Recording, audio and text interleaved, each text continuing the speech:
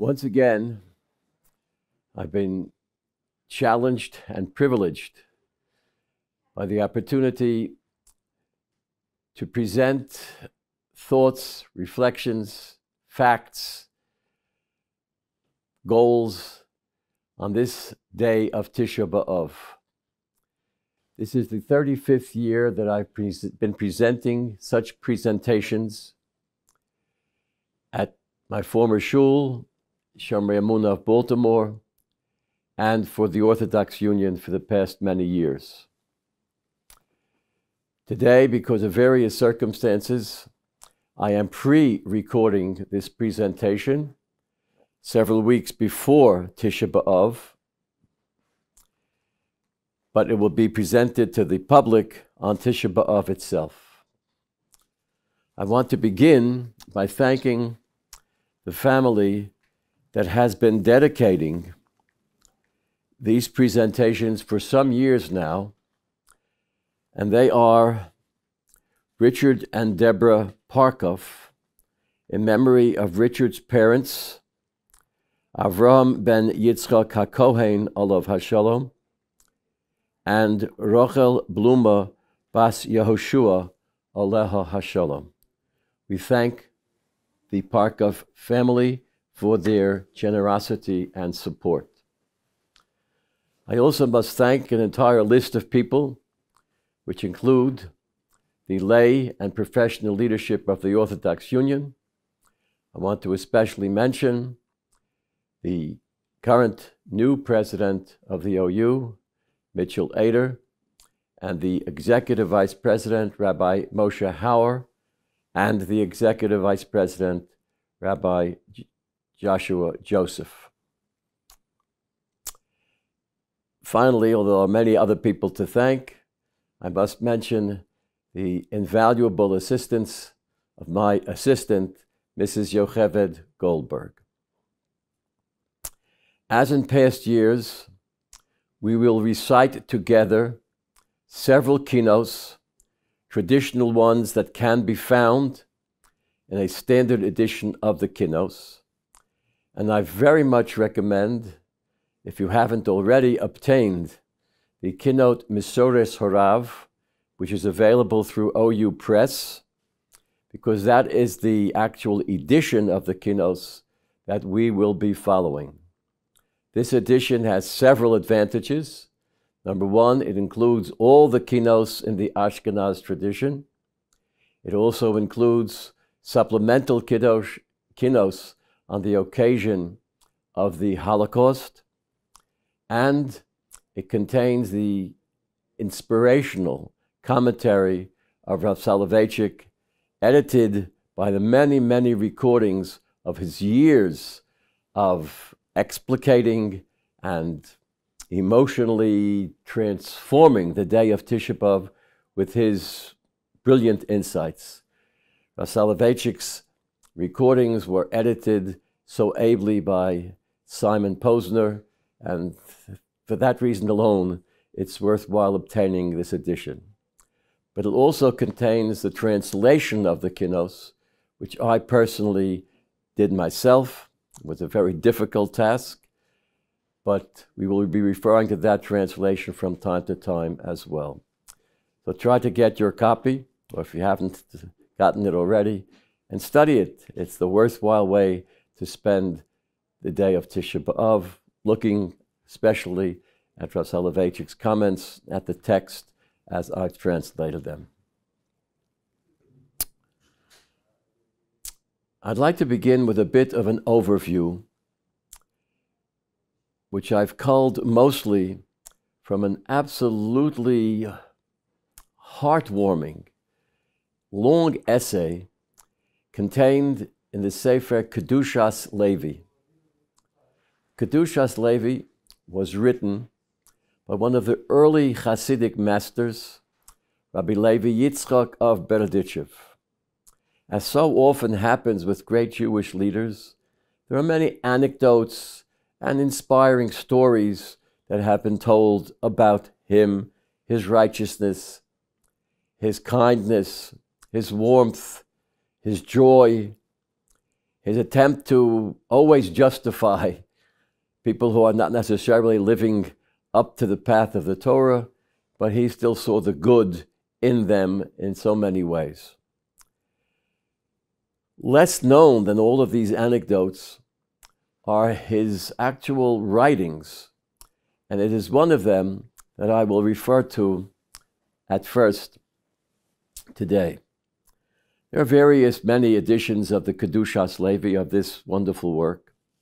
The one I have in my hands, Kedushas Levi, has many, many sections. It's probably about 500 pages, all told. And I'm referring to a section of about four, four or five pages in his commentary on Pirkei Avos, Ethics of the Fathers, and the Parshios Matos Mas'eh. And this is what he has to say. He begins by saying, Lo habaishon lomeid velo hakapton melamed. A person who is ashamed to ask questions can never study, can never learn. You must learn to ask questions. And if you're a teacher, you can't be a kaptan. You can't be impatient. You have to have patience. The student must ask questions, provocative questions. And the scholar, the teacher, must not shirk questions, no matter how naive the questions might be, no matter how challenging the questions might be, no matter how skeptical the questions might be. We must deal with questions and allow for them to be asked. So here's the question that he asks he begins with two passages in the Talmud. One is in the Tractate of Taanis, Maseches Taanis, Daf Lamed Beis. And this one, of course, is obviously relevant to our experience at this moment on this day of Tisha B'Av, Tuf Shin Pei Gimel, the year 2023 by the secular calendar. And it reads, Kol hamisabel al churbono shel Yerushalayim. Whoever mourns, truly mourns, sincerely mourns the destruction of historical Jerusalem, zoche v'roeh b'simchasa. He will be privileged to see the joy of a rebuilt Jerusalem, of a rebuilt Yerushalayim. V'chol misabel al Yerushalayim, ro'eh b'simchasa. But someone who does not mourn for Jerusalem will not be privileged to see its eventual rebuilding, its eventual joy. And the Talmud quotes a pasuk to support this view. Then Rav Levi Yitzchak goes on to another Talmudic passage, Meseches Brachos, Perikoroa, which reads as follows: Liolam yishtadel odom lorutz likras mlochim.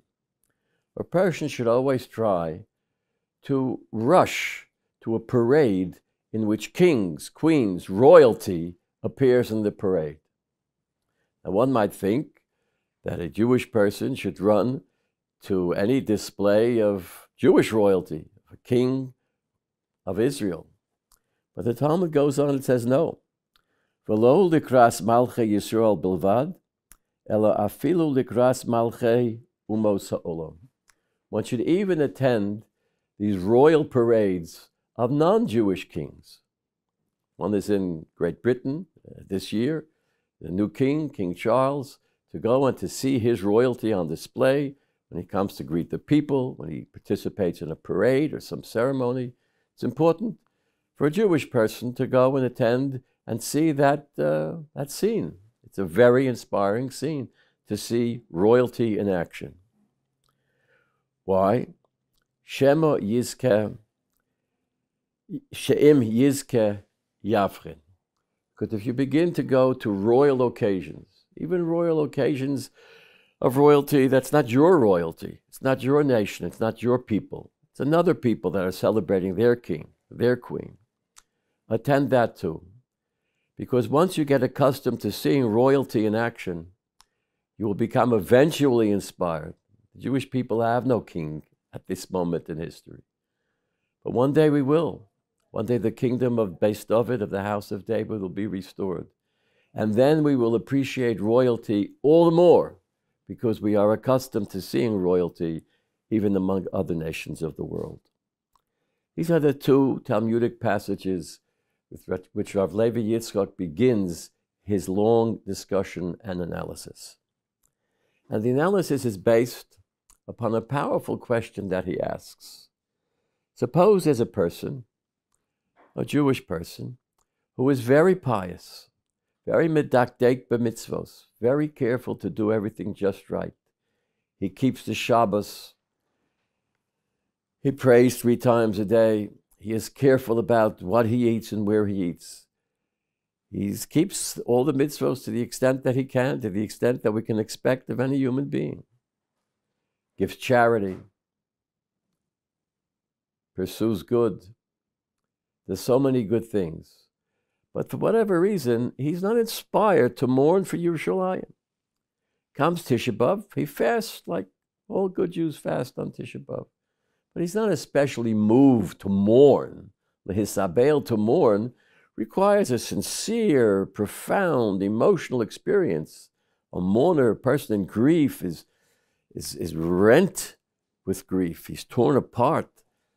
He can't function crying, he's hysterical. He can't get to that degree. He can't be misabel. He, for him, Tisha B'Av is not a transformative experience in which he's sitting on the ground and crying authentically. He may go through the motions, but that's about it. But then is the Talmud telling us that such a wonderful person, just because he can't get to that depth of emotion that's required, the Hisabel al Yerushalayim, should be denied the privilege of seeing the rebuilt Jerusalem, denied the privilege of, of seeing the Geula, seeing it all uh, in reality in his own lifetime. Why should he be punished, so to speak, simply for not being able to mourn? Well, the person who does not attend royal parades doesn't want to be bothered with seeing, you know, King Charles or Queen Elizabeth whomever. He's not interested in that. He's a good person in every other way, generous and kind a wonderful Jew. Just because of that, he won't be uh, privileged to see the glory of a restored kingdom of David. He finds that difficult to understand. So he goes about by saying, in answer to this question, that there are three, not one, but three aspects of the mourning, M O U R N I N G, of the day of Tisha B'Av, the entire experience of mourning for the destruction of the temples. And he says there are three things we mourn for. We mourn for the destroyed temples, Beis Hamikdash Harishon, Beis Hamikdash Hasheni. One destroyed by the Babylonians, one destroyed by the Romans. We mourn that. We mourn the temple. We also mourn the city of Jerusalem. We mourn the city of Jerusalem itself. Sos Kol Haaretz. It's such a wonderful, wonderful city. It was in its peak. And we mourn that we would like to see Jerusalem rebuilt. Uvenei Yerushalayim HaKodesh V'yomeinu. And we also mourn the loss of the state of Yerushalayim, of, the, of Israel, the nation of Israel, the people, the land, To some extent, of course, the land has been restored to the Jewish people in our time. There is a state of Israel, and we do govern over a portion of the original biblical land. In terms of the city of Jerusalem, we have seen it be, being rebuilt as we speak. New construction, new parks, new synagogues, new hospitals, new homes, all around the city. When it comes to the temple, of course, we, we're not there yet. We're still mourning that. But he points out that when we mourn temple, city, or land, there are two ways, two modes of expression. We could mourn the temple Oh, because it was a beautiful temple. We still see the ruins of Herod's temple, of the second temple. It was a mighty structure, it was a wonderful thing to behold. When we mourn Jerusalem, we mourn the city of Jerusalem. It's Yefei Nof Misos Koloretz. It was just something beautiful. When we mourn the lost land, we mourn our sovereignty. We mourn our autonomy. We mourn the fact that we are subject to another nation's control. That's one aspect in each of those three cases. There's another way of mourning, which is deeply spiritual. It does not look at the temple merely as a beautiful, grand building. It looks at it as a place where a Jew could get closer to God, where his prayers are heard,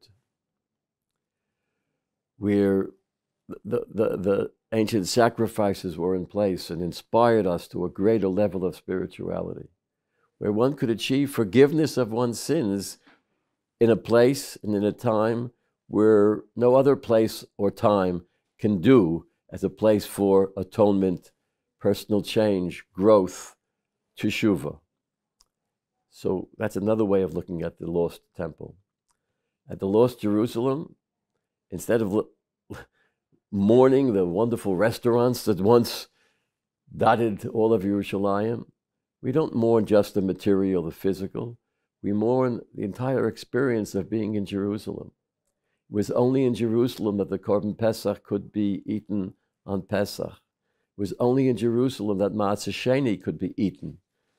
Jerusalem itself contained a, a certain spiritual dimension that we miss to this very day. When it comes to the land of Israel, it's not just the beautiful countryside, the hills and the valleys, the forests and the lakes. It's all beautiful. It's not just the peros Eretz Yisrael, the fruits that grow in, in Israel, the delicious dates and figs and grapes, etc. But the land itself has its kedusha, has its holiness in various ways. There are mitzvot which can only be fulfilled in Eretz Yisrael, never in Chutz La'aretz, Trumos, Maisros, Shemitah, etc. So to all these three focuses of our Tisha B'Av experience, we could mourn it in one of two ways. We could mourn the physical, mundane, surface aspects of what was lost, and they're all important, and it hurts to have lost them. But that's not the desirable way, right? Right, writes Rav Levi Yitzchak. Uh, the desirable way is to miss the spiritual aspects, the mitzvah performance aspects of Beis Hamikdash, Ir Yushalayim, and Eretz Yisrael. And therefore, he says that if a person, as he says in his question, the person who is extremely pious and, and just meticulous in his mitzvah observance, but if he cannot appreciate the loss of the spiritual aspects of those big three, Beis Hamikdash, Ir Yerushalayim, and Eretz Yisrael, then there's something lacking. There's something lacking. Ah, you're going to ask the question, but he tried his best. He did so much. He was meticulous in what he ate and didn't eat. He kept all the Shabbosos, he kept all the Chagim, etc., etc. He has beautiful tzitzis, beautiful tefillin, etc. Something must be missing. If all of that does not bring him to an appreciation of what was lost on that Tisha B'Av long ago, the Beis Hamikdash, Ir HaKodesh, and Eretz HaKodesh. And this is what we're here for today to try to be able to say that at least one day this year, at least one day this year, I was Misabel al Yerushalayim. I mourned for Jerusalem. I mourned for it in a spiritual sense. I felt a gap, a void, a vacuum in my own, the depths of my own soul, because I couldn't connect to God through each of these three major connections the land of Israel, the city of Yerushalayim, and the Beis Hamikdash. This says Rav Levi Yitzchak, the Kedushas Levi, is, is the message, the message of Tisha B'Av. It's, there's one day of a year where you can reach that depth of sincerity, that depth of commitment, that depth of openness to something beyond the material, to something purely spiritual. And that's what we search for on Tisha B'Av. We're going to do today is recite together several kinos. What I would suggest is I will usually give a prelude or introduction to each kino. What I will do, since I am pre recording, I'm not doing it on Tisha B'Av Day, but after each of my short talks, we will take a pause. You can take a pause, the camera will take a pause. And during that pause, we'll recite the actual text of the kina which we will read. Now let's take that pause right now before we begin the first kina of the day, which I will present again momentarily.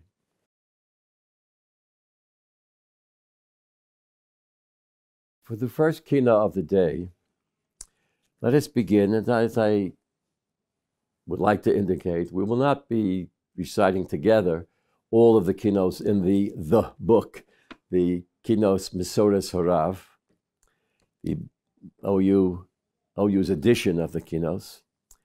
But we will have selected kinos, and the first one we will select is to be found on page 254 in this edition.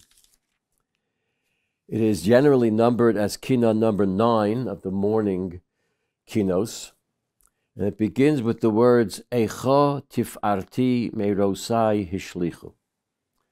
I'd like to give a few preliminary remarks putting the frame around this particular kina. So it begins on page 255 on the Hebrew side of the page with Echa tif'arti meirosai hishlichu how they have hurled my glorious crown from my head. Echa, how? It's a, it's a statement of shock. How could this have happened? That tifarti, my glory, my crown, mero shosai hishlichu, has been hurled. Hishlich means to throw violently, tossed aside, rejected, and stripped from my head.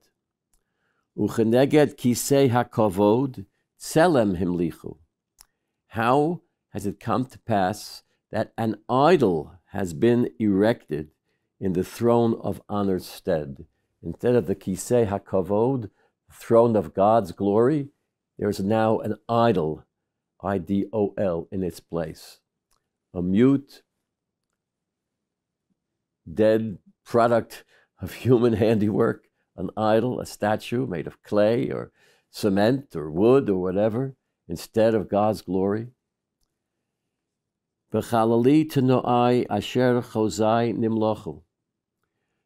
There's a reason for this. We'll, we'll try to penetrate deeper and deeper into this notion that the Mekonen is about to express now. The kinos, by and large, go beyond the tragic event that they are describing, which is tragic at every level, to look deeper and to understand what moral failure could have led to this tragedy. And this really is the goal of a Jew in every aspect of his or her life the ability to take responsibility for one's actions. And when things go wrong, to try to determine what was it that we did wrong that has now to be corrected. And so, right here in this third line, the Mekonen, the author of this kina, asks or, or states, B'chalali tanai asher chozai nimlachu, because we abrogated the conditions counseled by our prophets. Chozai, our seers, our leaders who saw, who saw our moral failures, our shortcomings, our sins, and gave us advice and guidance as to how to correct our behavior, but we were mechalel, we abrogated, we rejected this advice. V'nam im bechukosai telechu. Let's not forget that He, the Almighty, said, if you follow in my statutes, if you follow my laws. So this is the first stanza. You will notice, of course, that it begins with an aleph, echa, which is also the beginning of the book of Eicha, the Sefer of Lamentations. And then it ends with a phrase from Parshas Behukosai, last uh, chapters of the book of Sefer Vayikra, of Leviticus. And then there is the following little subscript, and it reads, Lama torivu elai kulchem. This is God's response to our complaint. We're complaining about the throne tossed off of our head, about the idols in the temple, about the fact that we rejected the good counsel of the prophets. So Ribbon Shalom responds to us. He talks back to us and whispers, Why do you call me to account? Why are you blaming me? You have spoken too harshly against me. You have done this to yourselves. Point of confessing one's guilt, confessing one's failures. That's God's response. The Jews' response is, Eicha, Eicha, how could this happen? And God, and it's a small print in this edition, whispers back, Why are you looking at me as if it's my fault? It's your fault. And let's choose another paragraph. Bays. Bila shoftai b'mo eitzos ivsam. He devoured my judges, first distorting their judgment. The judicial system, the courts, whom we depend upon for equity, for fairness, for justice, they failed. They failed. They took bribes, etc. They were corrupt. Histir mehem kishor ivososam. He, God, hid his face from them, from the judges, when he beheld their wickedness. We believe that a judge who is acting properly will have God's assistance. Elokim nitzav ba'adas keil. God himself will help support the judge who was a true and fair judge. But if he's a corrupt judge, he can't expect God to support and help him in his corruption. Va yumar la'avok mitrom lahavisam. He trans- transformed rain to dust to astonish them. One of the greatest curses that a person who lives in an agricultural society, which our ancestors back in the ancient land of Israel were basically farmers. That we were in a high tech country then. We depended upon agriculture. Well, the worst curse that can happen to a farmer is if instead of rain coming down from the heavens, just dust comes down from the heavens.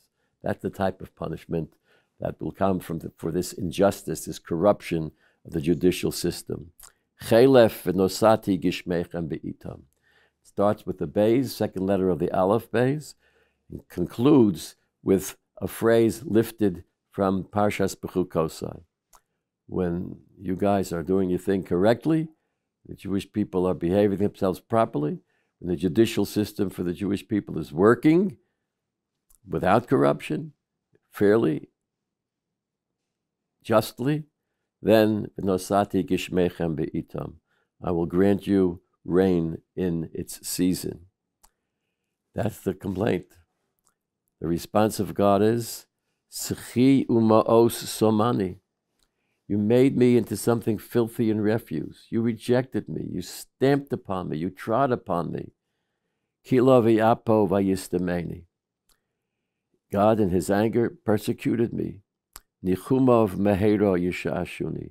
May his consolation soon delight me. Always that hope, that hope for nechama. This is our first mention today, not the first mention in the entire book of Kinos, of nechama, of consolation, of comfort, of somehow getting out of this Tisha state into a much happier uh, state of mind, into a much more complete lifestyle. And this is how the Kinnah proceeds Aleph, Beis, Gimel, Dalid, always, always, always not glorifying our sins, but confessing our sins openly, facing our faults, confessing our faults. And behind it all, of course, we have God's promise that He will at one point forgive us and redeem us. This is the kina that we will recite together now. And I take our pause, and you can recite this kina um, on your own. So we've recited kina number one.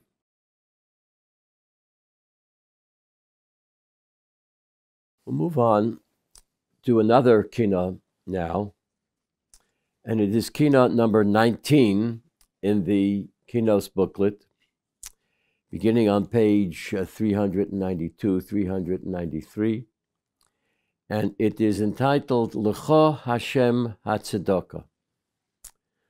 I'd like to give a little preface to this particular kina. The previous kina, we prefaced it with a comprehensive view on the day of Tisha B'Av from the works of the author of Kedushas Levi, Rabbi Levi Yitzchak of Berditchev. I'm going to fast forward several centuries now with a preface to this particular kina, and it is from the collection of Divrei Torah of Rav Soloveitchik, Zecher Tzadik Livrocha, as it appears in this volume of a series published by the Orthodox Union.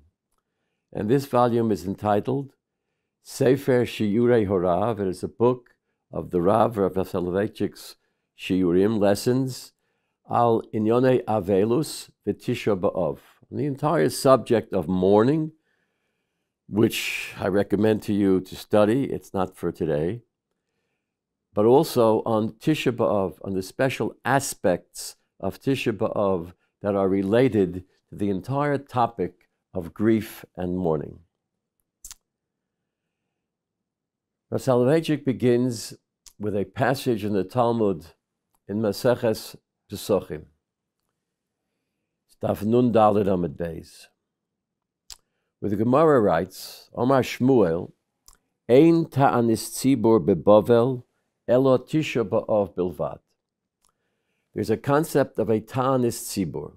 An entire tractate of Shas Bavli and Yerushalmi is about the concept of a ta'anis tzibur. When a tzibur, a community, an entire community, it could be a town, it could be a large city, it could be the entire Jewish people, have facing them, they're confronted with some very, very terrible, threatening catastrophe.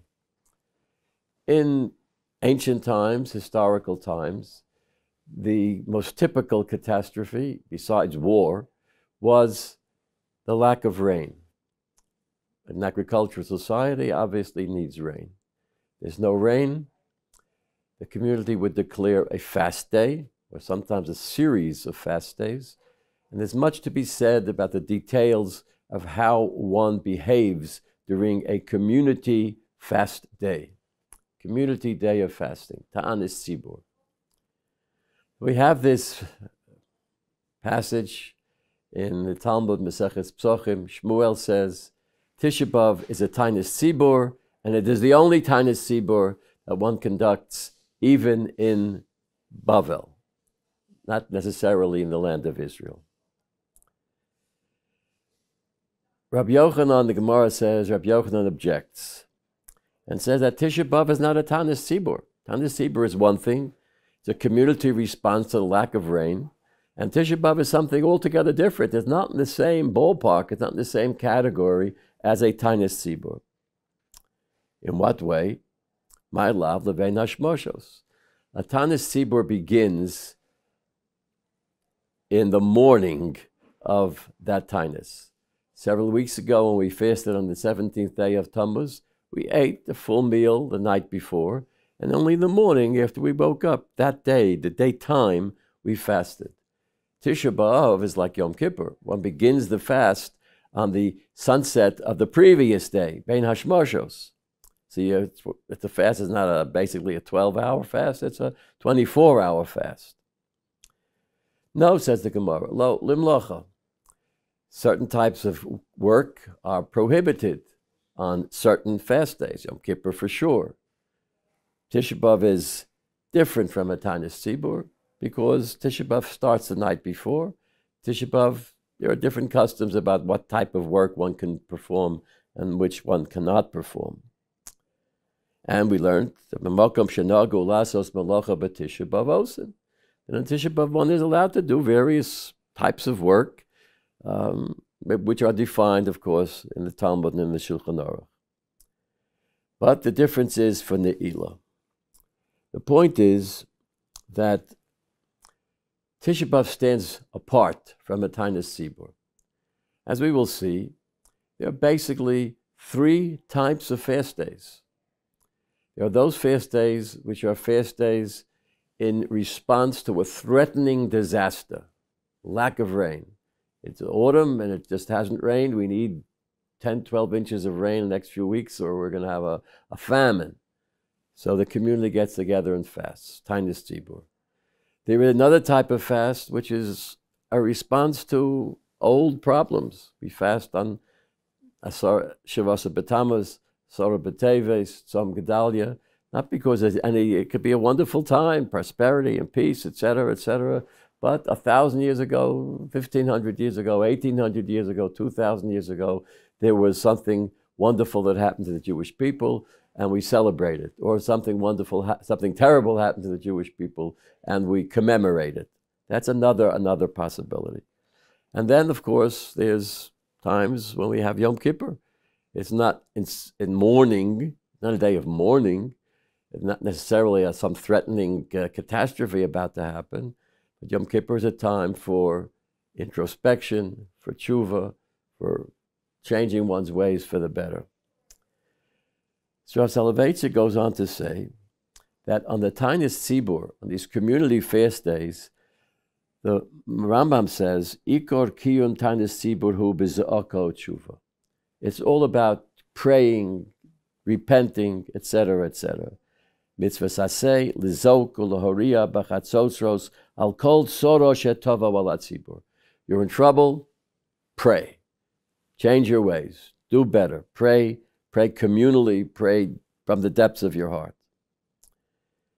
However, when we come to the four tzomos, the first days of Shavasa B'Tammuz, of Asar B'Teves, of Tzom Gedalia, then it's different we we're not just fasting, praying that we be saved from some disaster, but rather, Yeshom Yomim, writes the Rambam, quotes Rav Soloveitchik, there are certain days, Shekol Yisrael Misanim Bohem Ibnei Hatzaros Sheiru Bohem.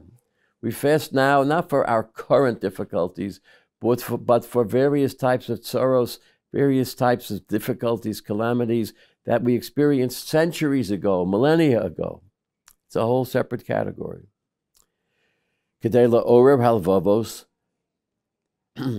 liftoach darchei All of that is not just because we want to keep the historical record straight and remember some terrible problem that we had many, many, many years ago. It's rather to open up our hearts, to reflect on our history so that we could change for the better today. It's a whole second category. And then, continues Rav Soloveitchik, there are times when they're both true. Because if one must experience ancient sorrows, ancient calamities, as if they were here today, as if we were we still remember it, it happened so long ago, but we still remember it, that gives us an impetus to change our ways for the better today.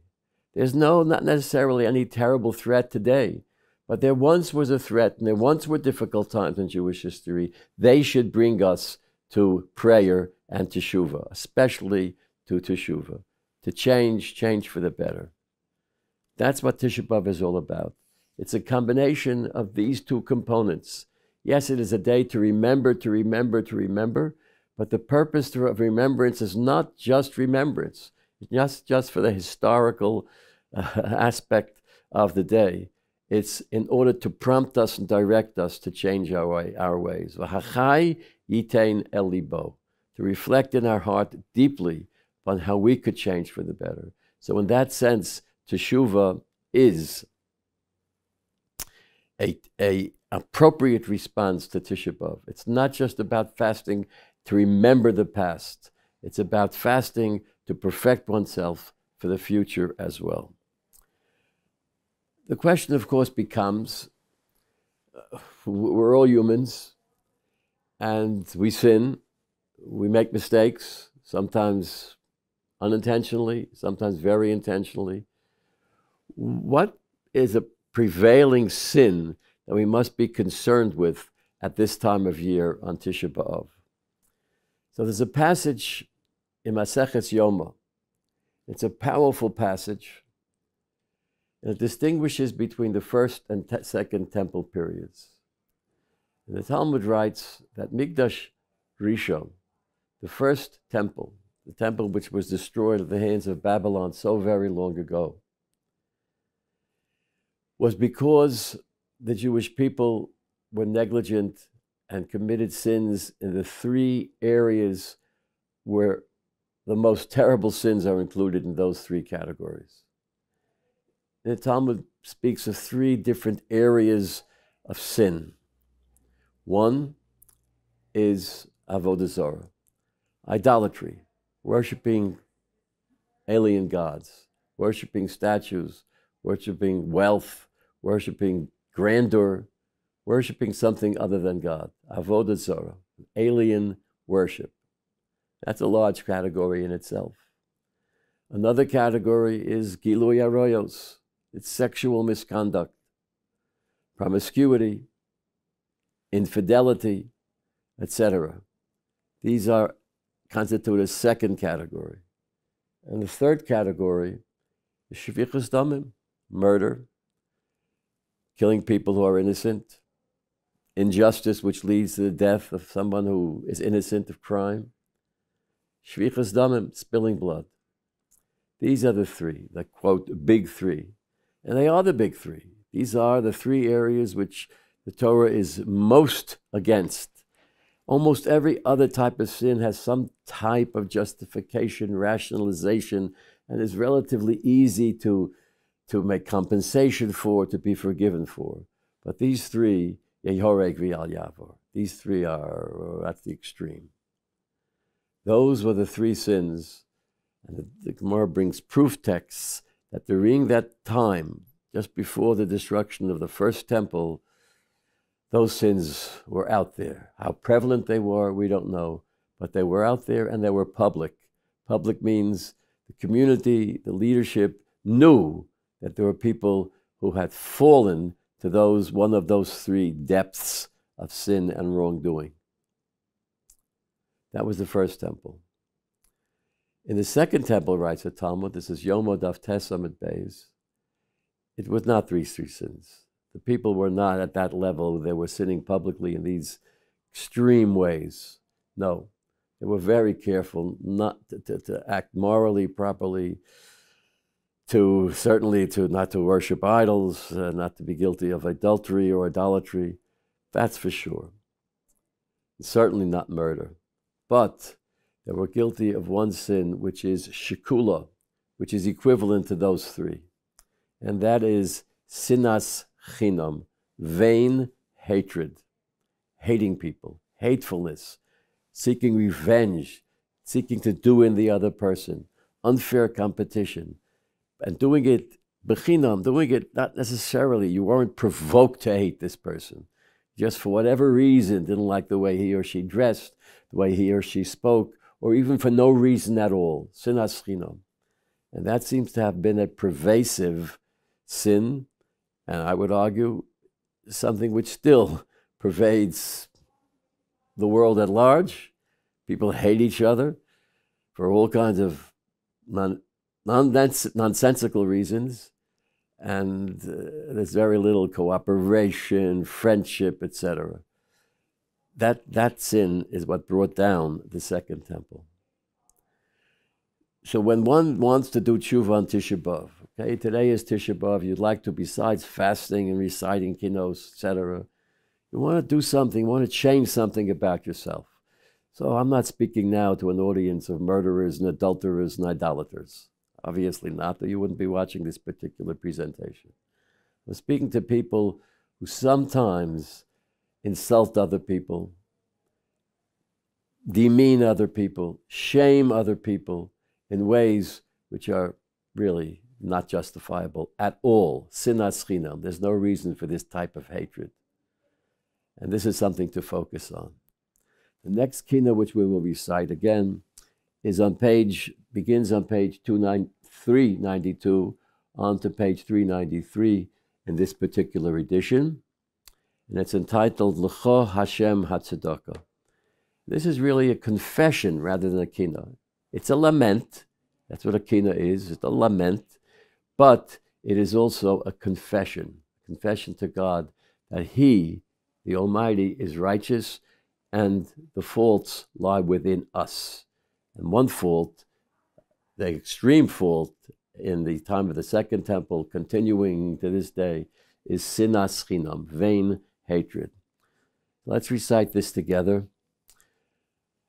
Then we'll have a brief pause where you can recite it all on your own carefully. I just want to highlight some phrases in the keynote, which is a relatively short one. Begins L'cho Hashem Hazdaka. We proclaim, with you, O Lord, is the right. Tzedakah here means righteousness, not so much charity as righteousness. You're right, we are wrong. You were kind to us, showed us all sorts of wondrous signs then and now. The shame is on us. For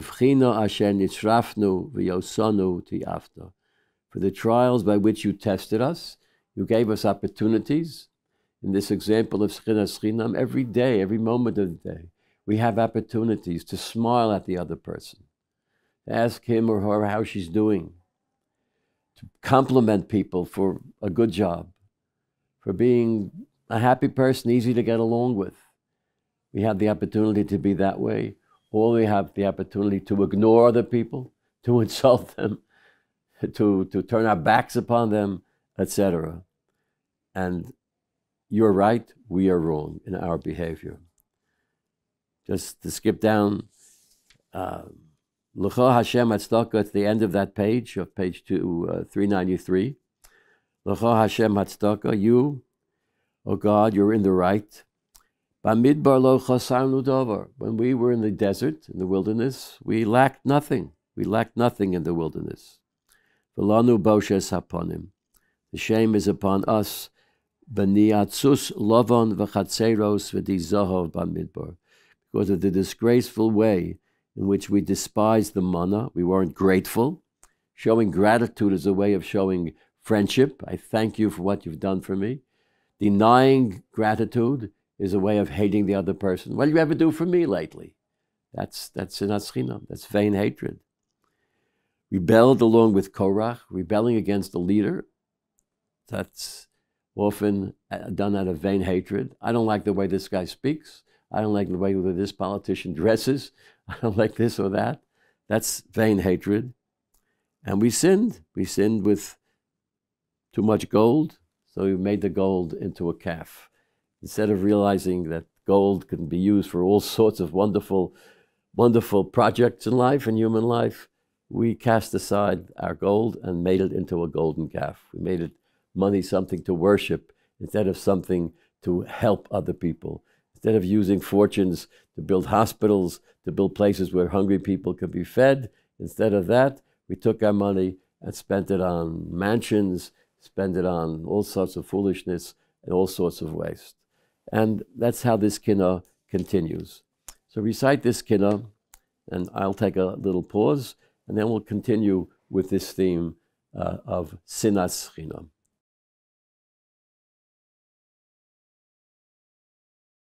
Now that we've read the kina of L'cho Hashem Hatzdaka, God, you're right. V'lanu boshes haponim, we need to be ashamed. And I convey to you that Chazal point to one area of fault, a sin, that was the cause of the destruction of the second temple, namely sinas chinam, hatred for one's fellow rather than love for one's fellow. Instead of kamocha, Instead of loving one's fellow as oneself, one hates the other person and shows it in various ways. I'd like to continue to speak a bit about this horrible, horrible shortcoming which we are all prone to, namely sinat chinam, this type of hatred. And I'm going to be referring to a kina which is not a kina. It's not a lament, not part of the traditional kinos. It's not to be found in the book that I've been drawing from until now. My assistant, Mrs. Yocheved Goldberg, has prepared for all of you a booklet which will contain an outline of everything that I've said today and will also provide some of the sources that I will quote from which are not in the kina which hopefully you have, in the volume that you have, or in comparable volumes. And one example of this is my next presentation, and that is a poem written not in the previous millennia, not in the previous century, but rather in our own time, by a contemporary poet who passed away now about 20 plus years ago, whose name was Aharon Mirsky. And Professor Mirsky was a professor at Hebrew University in Jerusalem. And his area of expertise, of special scholarship, was piyut, which one would translate liturgical prayers, prayers which were written as poems, but as part of the liturgy. He himself was an expert on that area of history and had a lot to say about the history of the kinos, for example, and the history of various piyutim, perhaps the most famous of which is Unasana Tokef, which we recite on the Yomim Noroim. But he also wrote poems, poems based upon his own experience.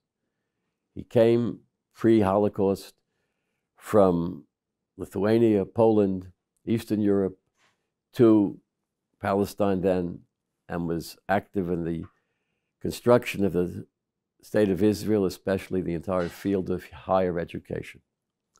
So he wrote a book of poems, which I have before me here. The title of the book is Din Hashir, the, the justice of poetry, of song. It's a thin book. It's poems, again, short, brief poems, clear poems, about 150 pages. And I'd like to share with you one of these poems, which you can find in your booklet at the appropriate page. Again, it is, and it will be labeled, it is labeled in English, Aaron Mirsky, comma, and then transliterated Din Hashir. I'm reading you the Hebrew version which my, with my rough translation. The Hebrew version begins this is a poem about how a wonderful childhood friendship deteriorated and deteriorated into vain hatred. People who were once the closest friends, the best of friends, and all of a sudden they were enemies for no good reason whatsoever. And here's how the poem reads it's entitled tochecha. It's often pronounced or mispronounced toichecha. It refers to those sections of the Torah which scolds the Jewish people, tells us, you know, there's a consequence for your actions, this payment or punishment for your sins. And it begins as follows a beautiful, beautiful portrait that he pay, paints in words. Cain Bain hoyisi limishpachas ohavim im yedidim. I was once the son, the child of a family of friends and lovers, people who loved each other. Ochalnu es lachmenu yachad. We would eat our bread together. Mirorim im megodim, whether the bread was bitter or sweet.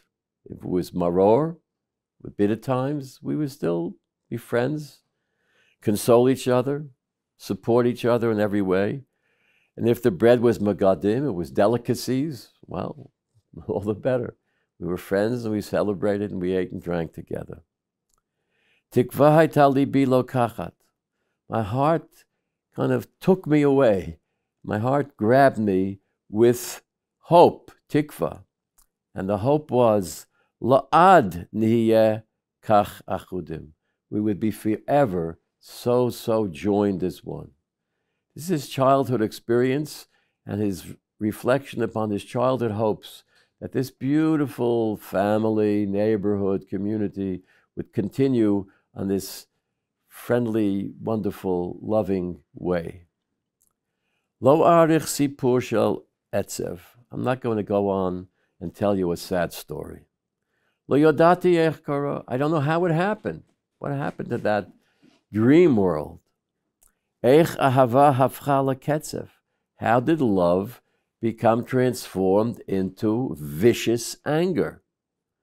Vididim ot forever. How could people who were formerly yedidim, wonderful friends, and all of a sudden they're enwrapped with wrath. All of a sudden, we can't agree with each other anything. We're arguing all the time. I don't know how it happened. This kind of underscores this is vain hatred developing in front of our eyes. There's no reason, but all of a sudden we're just snapping at each other, etc. Im hasoton hitil hachetzef. Could it have been Satan himself that kind of sprinkled us, threw into our midst a chetzef, uh, arrogance? Is that what happened? Oh, how you do. Or did friendship itself go out of style? It became strange. What's this friendship all about?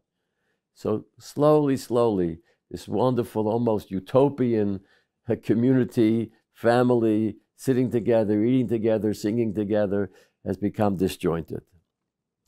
Imrei lismoach.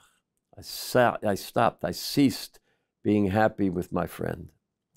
I stopped being sad when he was sad. The beginning of the deterioration of love into hate. Ilani hosif lifroach. My tree, he was lucky. My tree continued to blossom. Vahoriko matzavto.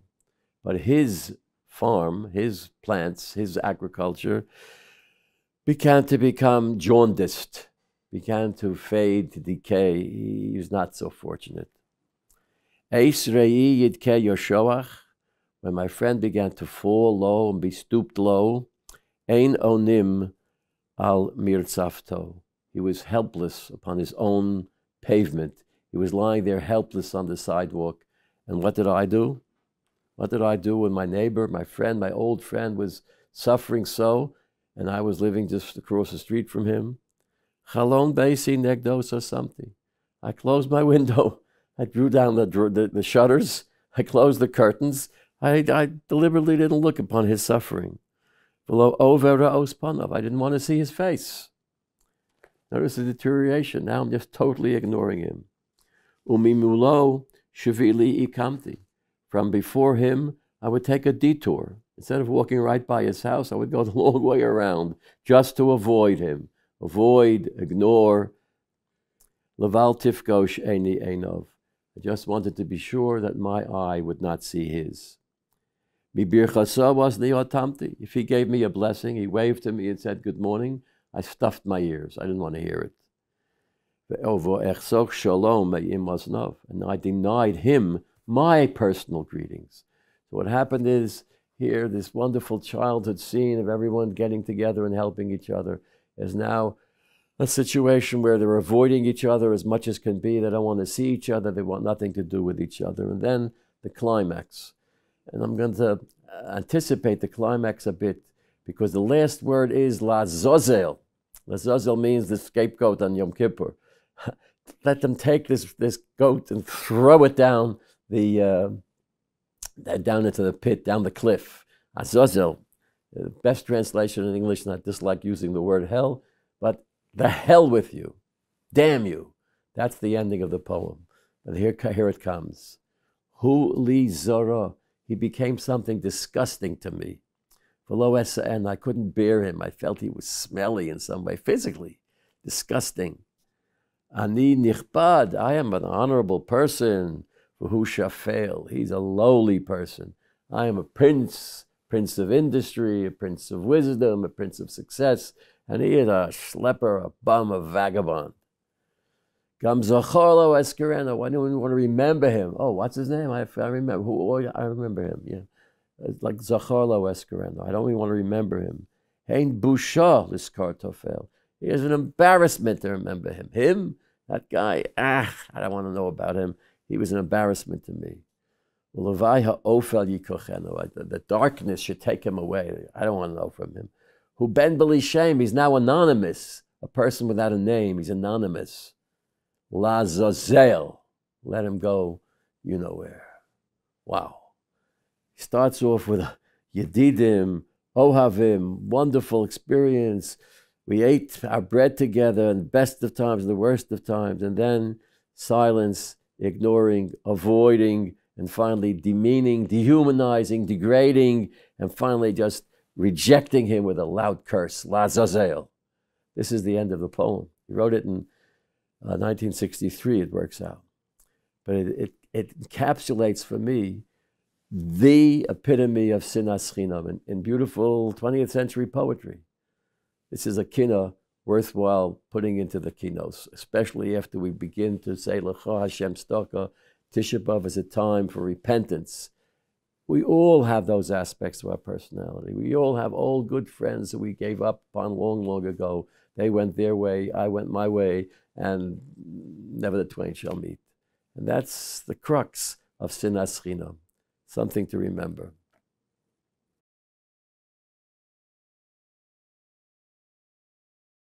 We just focused together on the tremendous problem, the issue at hand, which is the root cause of the predicament we are still in today. Today, mamash, at this point in time. And that is our failure to overcome the tendency of many of us of sinas chinam, of hating, reducing wonderful relationships to hatred. This is a problem that Jewish people have had at least back to the time that we sold our brother into slavery, when the brothers sold Yosef Hatzadik into slavery. Beginning of a, a difficult, difficult phase of Jewish history, slavery in Egypt. Some trace this back to earlier biblical times, before Yosef, to the time of Cain and Hevel, two brothers the only two people in the world besides their parents, and they couldn't get along, eh, and one murdered the other. Sinas Chinam has pervaded human history from its very, very inception, from its very, very creation. It persists to this day, persists among us, within families, within marriages, within communities, within societies, within nations, within the human race. Hatred, hatred, hatred, war, vicious competition, persecution, etc., etc. Sinas chinam, hatred for no good reason. And I share with you the poem of Aaron Mirsky. How did Chazal, right, we quoted the Gemara in Maseches Yoma, the root cause of, of, of Galus, of the destruction of the second temple, was Sinas chinam. How did Chazal, what did they see in their society the time of the Second Temple, that led them to believe that the root cause of it all was hatred. People couldn't get along with each other in, in, in, in crazy ways, ways which make no sense. There's a, an entire section, three or four dapim, three or four blot, in Maseches Gittin, which give us numerous stories actual real life events that caused, that showed, that demonstrated this type of vain hatred. I go back with you to a passage in the Talmud on Daf Nun Hey Amid Beis, 55b. Fascinating passage. I'm going to read it to you with a minimum of commentary, just to give you the impact of this example of the type of sinas chinam that destroyed, destroyed Yerushalayim. It begins with a statement of Rabbi Yochanan near the bottom of Daf Nun Hey Yomid Beis, Gittin, Gittin. Omer Yochanan, my dirsiv, the verse reads in Mishlei, Ashrei Odom Mefache Tomib, Umaksha Libo Yipol Baro. Just translating the first half of that verse. Solomon says, Fortunate, happy is the man who is always afraid. Mefache tomit. Now you might think this is a person who is best treated with some type of anti-anxiety medication. He's always afraid. That's not what Rabbi Yochanan means.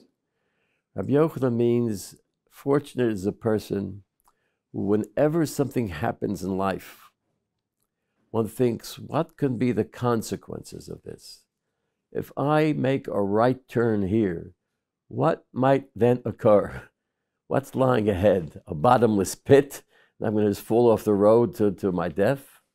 Or a smooth highway? You always got to think things over and consider the possibilities, the realistic possibilities, not to dream up some, some, some scary figure, some scary uh, fantasy, but rather realistically, what, what, what, might happen if I do this or if I do that? Ashrei Adam Tamid.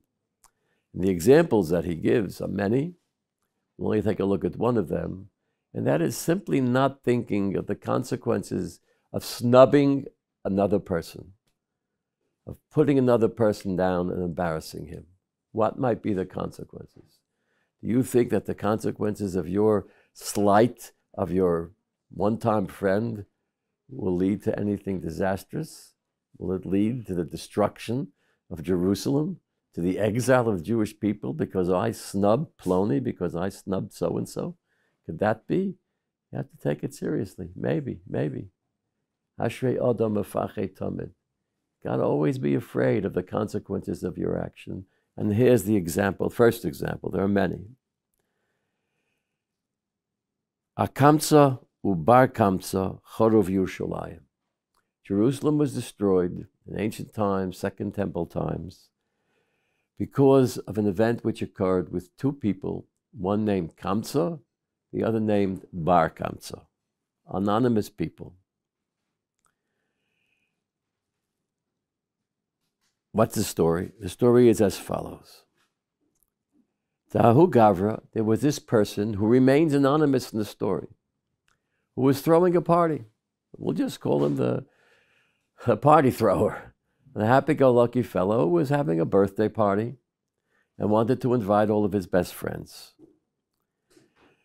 However, his best friend was a man named Kamsa. Derachame Kamsa. His good friend was Kamsa. But there was a little confusion because Ubal Devove, his worst enemy, was a man named Bar Kamsa. Were Kamsa and Bar Kamsa related? was Bar Kamsa, Kamsa's son, and that's why he was called Bar Kamsa. Well, they did, did they just have you know similar names? One's name was Smith S M I T H, and the other was Smith S M Y T H. People had similar names all the time. But his enemy was Bar Kamsa. Let's get that straight. His friend was Kamsa. So he's about to make this big party. Those days there was not only no post office mail, but there was, you know, uh, old-fashioned mail. Um, but there was no mail and there was no email. There was no communication.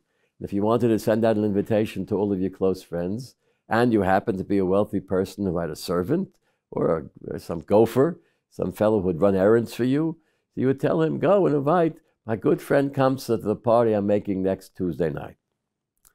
That's what he did. Amalei Shameh, he said to his, uh, his, uh, his servant, Zil Aisili Kamsa, go and bring Kamsa to the party. Give him an invitation to my party. So this gopher, this young fellow, an errand boy, went to the house of a man who thought was Kamsa. He looked in the telephone book or the local neighborhood uh, calendar, and he sees under, the kuf, uh, there's a man named Kamsa, but there it said Kamsa, comma, bar. So when sending, instead of inviting the good friend Kamsa, he invited the enemy Bar Kamsa. Aisile Bar Kamsa. Okay? So Kamsa didn't come to the, to the party. He didn't know he was invited. He didn't know there was a party. But Bar Kamsa, the enemy, came. Oh, maybe he's making friends with me again sends me an invitation to his nice party. I'm going to the party. You buy a new suit and a bow tie. He comes to the party. Well, the host of the party walks into the grand ballroom, also, Ashkeche, and he looks around the room, and what do you know? Who do we see? Who does he see sitting there? Bar Kamsa, his enemy. Yosef, he sees his best, friend, his worst enemy is sitting uh, enjoying himself at the shmort, right? Omale. So the host says to Bar Kamsa, his enemy, Michte, what's going on here? Hahu Gavra, this person doesn't even call him by his name. It just says, this person, you, Baldavava Dahu Gavrahu, you're my worst enemy. What are you doing here? How'd you get here? Who invited you? My boy Yisoch, what are you doing here? Come, get up, puk, get out. Whoa. That's an aschino. Come into the party, it's your own party, you want everybody to be happy. Here's this guy, your enemy, and you pick him up and to say the least, discourteously reject him from your own home or your own grand ballroom. What's going on here? So Bar Kamsa responds. He says, Look, quietly, I came already. I'm here. Hoil soy. I'm here. Shavkon, leave me alone. Don't embarrass me. I have a hundred guests here. The Paneho here, her here, all the rabbis in town are here, all the big shots, all my old friends and everything else. So you don't want me here because I'm your enemy. You know, let, let, me stay here. And you know what? In case you're worried about how much it costs you, how much I'm going to eat of the lamb chops and drink of the of the fine wine, I'll pay for my I'll pay for my meal. I'll pay for my meal. I'll pay you whatever I eat and I drink. So it'll cost you a hundred bucks. I'll give you a hundred bucks and just let me stay here. Don't embarrass me. Malay, so this uh, host seems to have a very limited vocabulary. All he can say is get up, get out, or no. And he says to him now, no, lo. Sudasech. I'll give you a deal. You know, this is a hundred person party in the grand ballroom with all this delicious food and expensive wine. I'll pay you the cost of half of the meal. The meal has like, got to cost you maybe 20 grand. I'll give you 10 grand. Just let me stay here. Don't embarrass me. So what does the host respond? Again, one word, lo. No, that's all. Amalei. So he says to him, You're upping the ante, huh? Yehivnalach demei kula sudaseh. Cost you $20,000 a whole affair? I'll pay you the whole 20000 I'll pay for the entire affair. Just let me stay here. Don't embarrass me.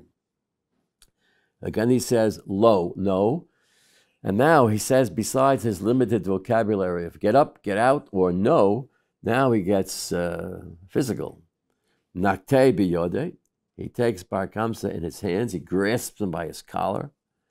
V'ukme, and he picks him up. V'afke, and he throws him out. So now that's the end of that story.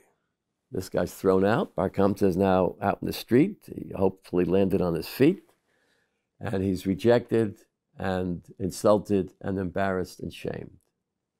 All because of sinas chinam. The host didn't like him. He had a grudge, threw him out. He offered to pay for the meal, for half the meal, for the whole affair. No, no, no. Picked him up and threw him out. That's the scene. That's a, a picture, a photograph of sinas chinam, hatred for no reason. So what does Bar Kamsa do? Well, if you reward a person, act toward a person with cruelty and disdain and anger, his response will be cruelty, disdain, and anger. Only natural. Kamayim haponim leponim. Chazal darshan the pasuk. We are in life and our interpersonal relationships like a person in front of a reflecting pool.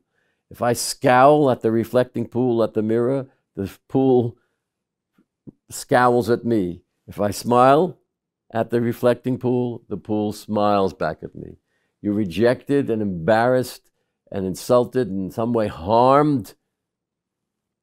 Bar Kamsa, Bar Kamsa will get back at you in the most vicious way he can imagine. And that's what happens. Bar Kamsa says to himself, sitting there on the floor, having been thrown out, he says, You know, besides this host, who anyway, he's a lousy person, he hates me, etc., he threw me out. He's bad enough. But you know I'm really angry at? The rabbis in town, the biggest rabbis in town, were guests at this dinner, at this party. And they're sitting around and they watched the whole scene of me being tossed out into the street by this host. I'm angry at the rabbis. Why didn't they protest? Why didn't they stick up for me? Why didn't they come over to the host and say, hey, cool it, take it easy, let the guy stay here, it's okay? No, they didn't do that. So he saw the, the Rabbono and the rabbis were sitting there, and they didn't protest. You see that they're okay. They're okay with sinas chinam.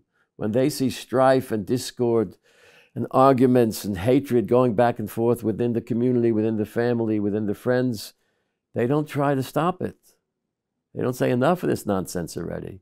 Let's cool it and get along with each other. They don't say that. The leadership of the community, they're responsible. And if that's the case, Azil Echel Be Kurza Be Malka. Remember, we're living under the Roman rule. I'm going to go to the Roman Caesar or the Roman ambassador, or whoever's in charge of Judea at that time, whichever Roman general or politician or governor is acting for them, and I'll go and slander the Jewish people and tell him that the Jewish people are rebelling against him, and then they'll put down a hard fist and they'll send some of these guys to jail and some of these guys to the gallows, maybe all of us into exile, and I don't give a darn. Let that happen. And that's what he does. And there's more to the story, but of course it all ends with the destruction of Yerushalayim. And Rabbi Yochanan is telling us, us, us, Ashrei Adam Tamid. When you mistreat a person, think of what the consequences might be. It might go from pillar to post, from better to worse to worse to still worse to the worst to the Churban of Yerushalayim. This is the Gemara itself telling a story which could have easily led and did eventually lead to the destruction of Yerushalayim. The question, of course, becomes, and this is crucial, okay, so there's sinas chinam out there in the world, there's hatred. What's the opposite of it? So one of uh, Chavi's, my wife's ancestors, was a Hasidic Rebbe named Rabbi Yecheskel of Kuzmir. I think he was the first on record to say and to write that the cure for sinas chinam, the cure for hatred for no darn reason, for no good reason, is the, the opposite of that is ahavas chinam, loving a person for no special reason, liking the other guy not because he did you a favor, not because you expect something back from him. You're a nice guy. You're okay. You know, I like you. That's all. Ahavas chinam. Ahavas chinam. That's the reverse. And if we act in a manner towards each other. Avas chinam. There's no special reason why I should like you. You're a nice fellow. You're a member of this family. You're a member of the Jewish people. You're another good human being. Whatever it is, I like you. That's the way it should be. Avas chinam. And that's going to reverse sinas chinam. That distinction is credited to many people who live subsequent to Cheskel Kuzma. It's attributed to Rav Kook. From knowing Rav Kook's lifestyle, that was his uh, MO also. That's the way he behaved. He loved people even if they were his enemies. And they tried to do him in and hung posters in the street against one of his policies or whatever. Not only did he forgive them, but he loved them and did favors for them. That's, that's the goal, to transmute, to transform sinas chinam, hatred for no special reason, to ava for no special reason. How does one do that? So I'd like to mention to you as a handbook if that's what you want to do, you want to make a resolve today, Tisha B'Av, the resolutions don't have to be on New Year's Day, on Rosh Hashanah, they can be on Tisha B'Av. Make a resolution to try to avoid sinas chinam and really move ahead on ahavas chinam. And you want a good handbook for it. Well, one good handbook was written many centuries ago by a man whose name was, was Rabbi Moshe Cordovero. And he wrote about God's wonderful generosities and blessings and about how human beings can not only emulate, but can, um, so to speak, inspire God to respond in a loving way by acting lovingly, by acting with chesed, with acting with generosity, acting with friendship, acting with a smile. One can, in a sense, install those midos in Kaviyachal, God Himself. so that he becomes full of blessing and grace and succor. The name of his Sefer, Rabbi Moshe Cordovero, is Tomer Devora, the palm tree of Devora. And in and of itself, it's a wonderful handbook for how to be better at being good, how to improve in being loving and kind. Some time ago, I picked up a kind of a commentary on Torah, Tomer written by a contemporary. A two volume work. Here's a picture of the cover of the first volume Tomer Devora by Rabbi Moshe Cordovero, a Kabbalist in the 16th century, 15th century. And but this uh, commentary is like a, a, expansion of the book Tomer Devora. So this is not written centuries ago. This is written yesterday. By a, it's called Bisafa Barura, in, in a clear language. And it tries to bring down various ethical situations, social situations, which are clumsy and awkward and difficult and might easily lead to misunderstanding and to enmity and to turn them into opportunities for friendship. And it's written as if it was written for a grade school student. It's written with the Kudot, etc., in Ivrit. Fascinating. But he, in one of the midos, one of the God's qualities which we are supposed to emulate, according to the author of Tomer Devora, Tomer Devora Rabbi Moshe Cordovero, is called Ki Chofetz Chesed Hu. God wants chesed. And he defines chesed not as being generosity or loving kindness, etc., but chesed is bestowing upon another person undeserved friendship. The person is not necessarily a friend of yours. You just met him for the first time and he could go his way and you can go your way, but you give him chesed. You give him grace. That's God's way, and that could become the way for each of us. So he quotes in support of this no less than three different midrashim, three different uh, texts in the Medrash. Uh, one in Medrash Rabbah Parshas Vayikra, and one in Masechet Sanhedrin and Perek Chelek, and uh, uh another in Eicha Rabbah, uh, Parsha Dalin. But in all of them, you see the way that uh, in various times in history the Jewish people are doomed and the Malachara, the evil angels, the demons are doing all sorts of things and kind of gleefully waiting for the time when they can strike. And then this one kind angel comes along and says one kind word, another kind word, etc., and turns everything around again, turns everything around again, and converts uh, almost magically the sinas chinam, the hatred of the opponent, of the ministering angel who's who's the, the, the persecuting angel, the prosecuting angel, and silences him and gets, so to speak, on God's good side to have the midah tova, the chafetz chesed hu aspects of God, and bring them alive. I recommend this book to you really as a handbook, especially in this volume, this um, edition, um, which is available through Machon Simanim of Yerushalayim. And if you're interested, you can contact me and I'll give you the details of how to get it but it's a textbook in, in my language, uh, in the Cheskel Kuzma's language, of changing, magically almost, changing sinas chinam, hatred, discord, can't get along, into avas chinam. It's a, it's a book of, you know, you can do self-therapy through the use of this excellent sefer. We'll stop here for a moment and then we'll move ahead, actually move ahead historically as well as in other ways.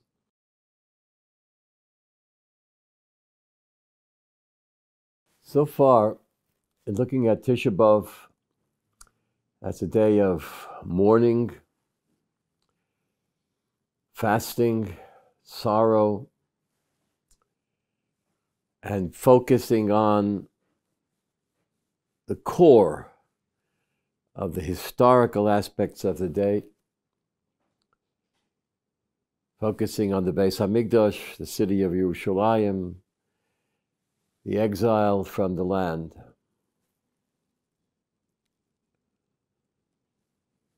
Now we have to move ahead in time because the requirements of Tisha B'Av and the lessons of Tisha B'Av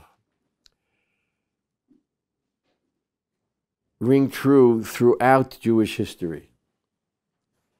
And with our first kina, we focused on the ancient catastrophes, which were certainly numerous and very, very tragic and painful.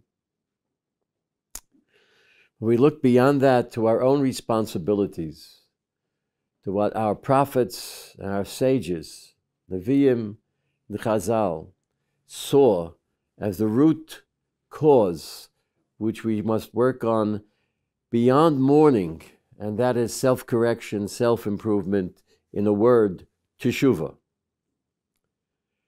And to do that, we have to uncover the focal sin of our people. From the beginning of history, as I suggested, from Yosef Hatzadik of our history, right down to this very day, mamash.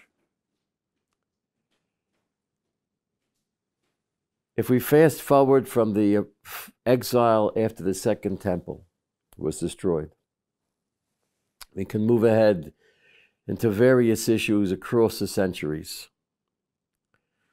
I want to focus on one right now at this moment. And to do so, I just want to quote a sentence or two from a book by a gentleman named Edward H. Flannery. Flannery himself was a Roman Catholic priest. And in 1964, he published this book. I have in front of me the revised and updated edition of this book, which, according to the blurb on the back cover, was hailed by Christians and Jews alike as a groundbreaking book that did much to expose the fact of historical anti Semitism in the United States and around the world.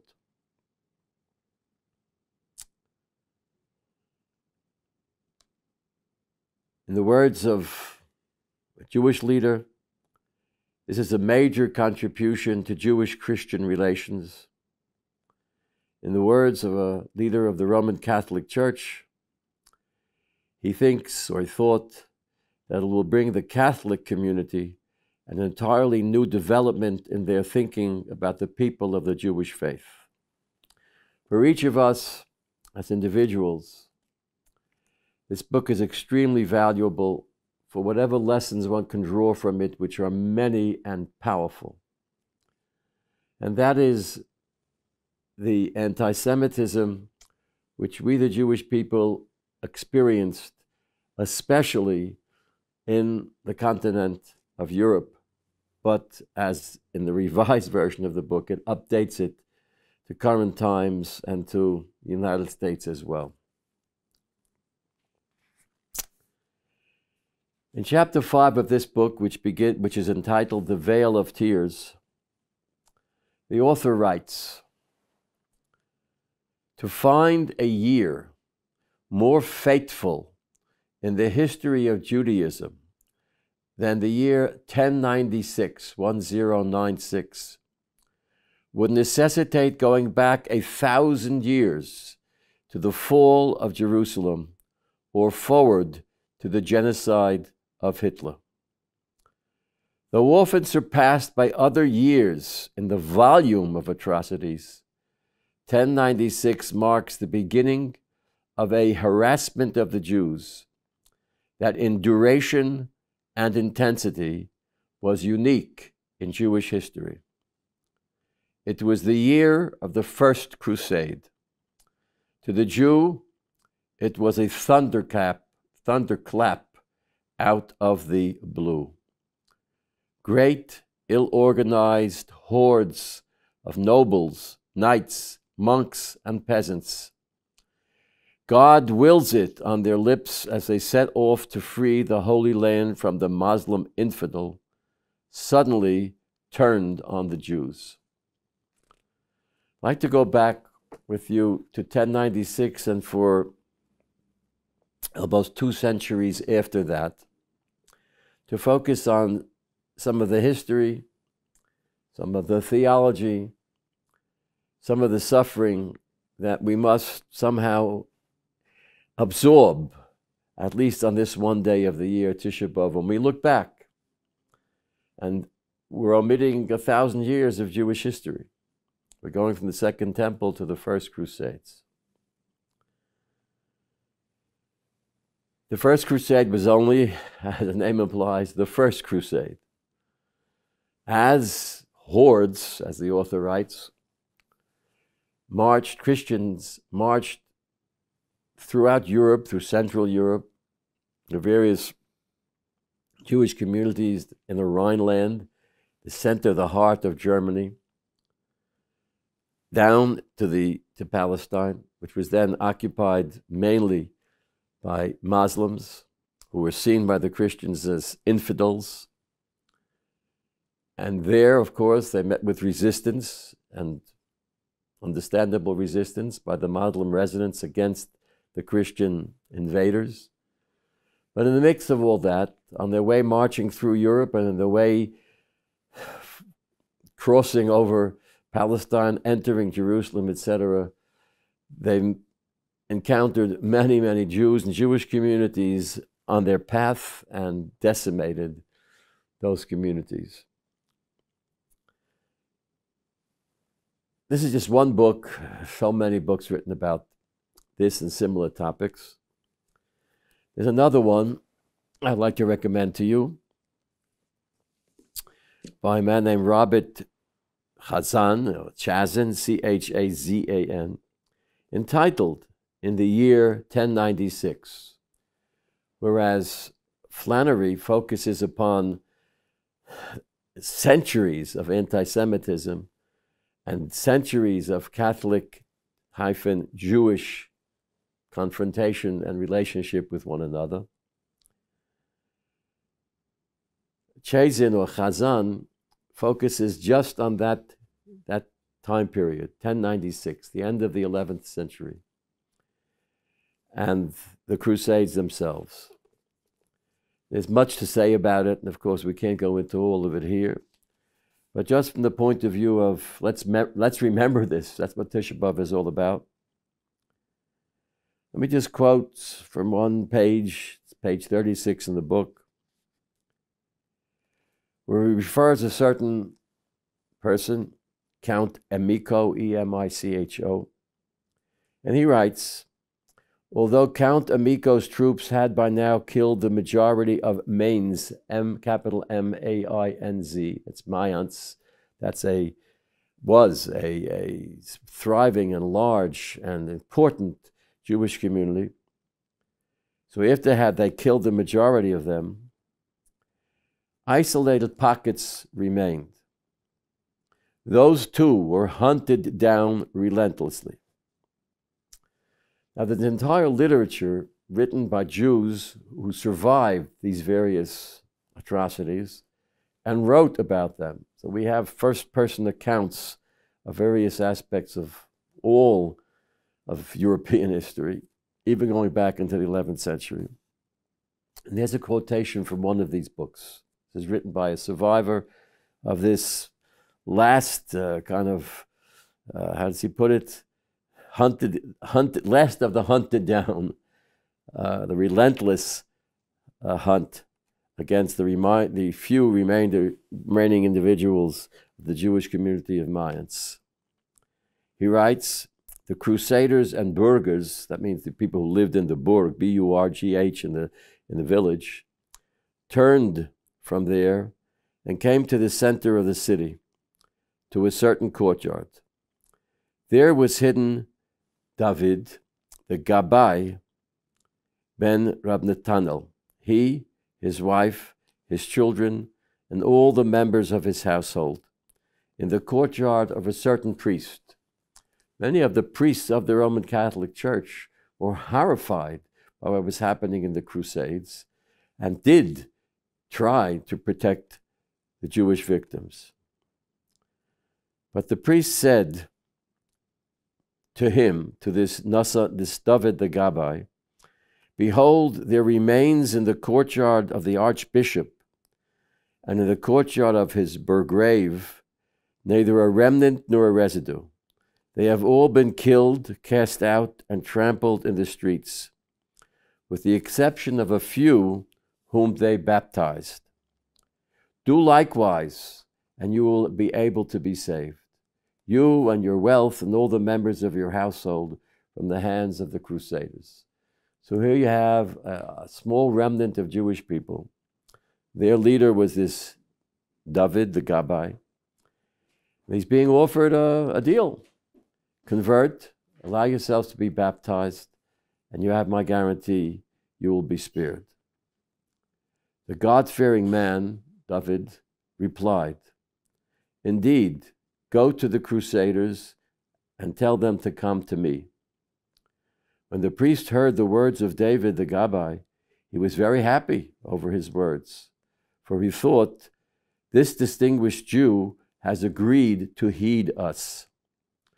He ran to meet them and told them the words of the saintly one.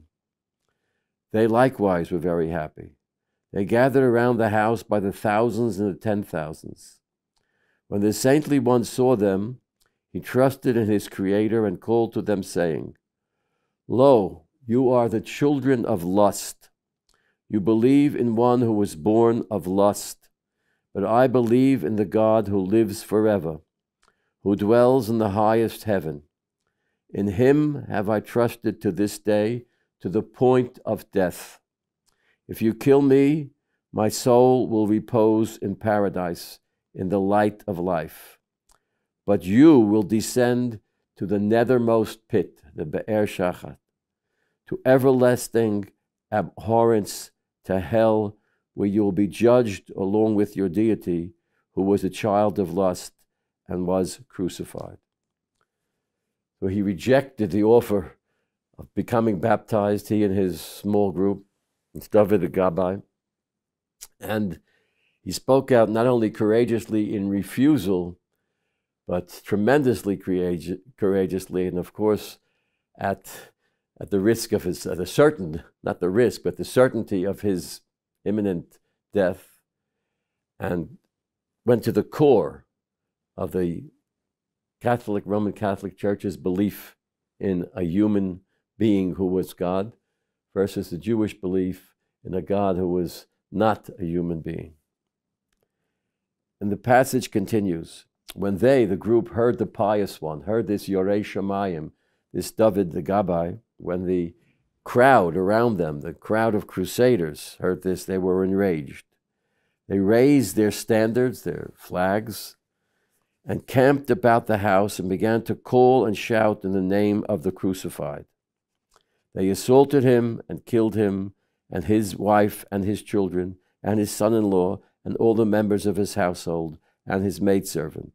All were killed for Kiddush Hashem, sanctification of the divine name. They fell, there fell the saintly one and the members of his household. This is just one account by one writer scribbling in a notebook under these conditions about what he or she saw on that one day of the entire experience, what we call the First Crusade. There's one brief passage from Chazan's book and go on with this. Just want to mention another book which goes way beyond the Crusades. It comes with various titles, but this title that, uh, of the copy that I have in front of me is kind of my original exposure to this entire issue of Christian Jewish relations over 1900 years.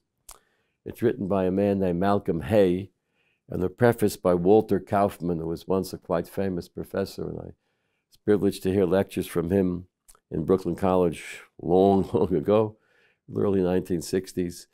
But the title of the book is Europe and the Jews The Pressure of Christendom Over 1900 Years.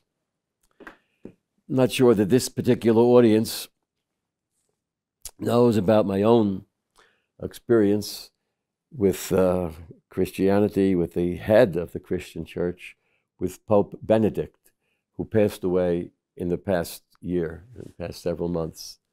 This is the Pope in exile, or the Pope emeritus, the Pope who kind of resigned and, uh, because of his own reasons, um, and who visited the United States of America in the year 2008.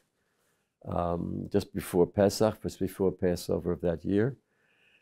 And I was chosen as a, a leader in the Jewish community. I was then the executive vice president of the Orthodox Union to represent um, American Jewry. Uh, and this is during the George Bush's administration. Uh, actually, we met first, the Pope and I, uh, in the Rose Garden in Washington, D.C., in the seat of the President of the United States, and um, who referred to me in the Pope's presence as this is Rabbi Weinreb, he's my Orthodox rabbi. And uh, then later that same evening was again just before Pesach 2008, April 2008, to Catholic University, which is a Catholic university in Washington, D.C., where I was given the audience of the Pope. We met about five minutes, and where he expressed to me his own regret and for the whole history that's described here, and felt that we had come a long way in improving relations between Christians and Jews, specifically between Roman Catholic and Jews. And uh, I had that audience, and it's something uh, to me personally a very important memory. But the history is there, and on Tisha B'Av we're here to remember that history, and hopefully we're past uh, those that aspect of the difficulties that we face in exile. I'd like to, if we take a very brief break, uh, go on to our next kino. Now, there are several, as I count them, actually five kinos that relate not only to the Crusades, but to the entire, what uh, Malcolm Hay refers to as the pressure of Christendom over 1900 years. And it is in um, this collection of kinos uh, Kino number 33. It begins on page 533, and it's entitled Avel Aorer, I will arouse, I will stimulate grief. Poetically, it's a very interesting, different type of poem. I can um, say a few words about that when we uh, regroup. Uh, but you'll notice when you go through it, it refers to something which might just look like a code word to you. It writes about Shnas Tuf Tuf Nun Vav, the year Tatnu. What does that mean, Tatnu? Tatnu, uh, 896, is corresponds is, in the Hebrew calendar corresponds to the year 1096, the year of the First Crusade. So we'll turn to that kina uh, after this brief pause.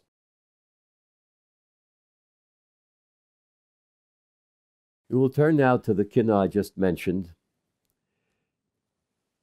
as one sample of, of many, many kinos that were written about this experience. Let's call it the, instead of the Christian experience, the European experience of the Jewish people who, a great number of them, of course, lived in Europe in all these centuries.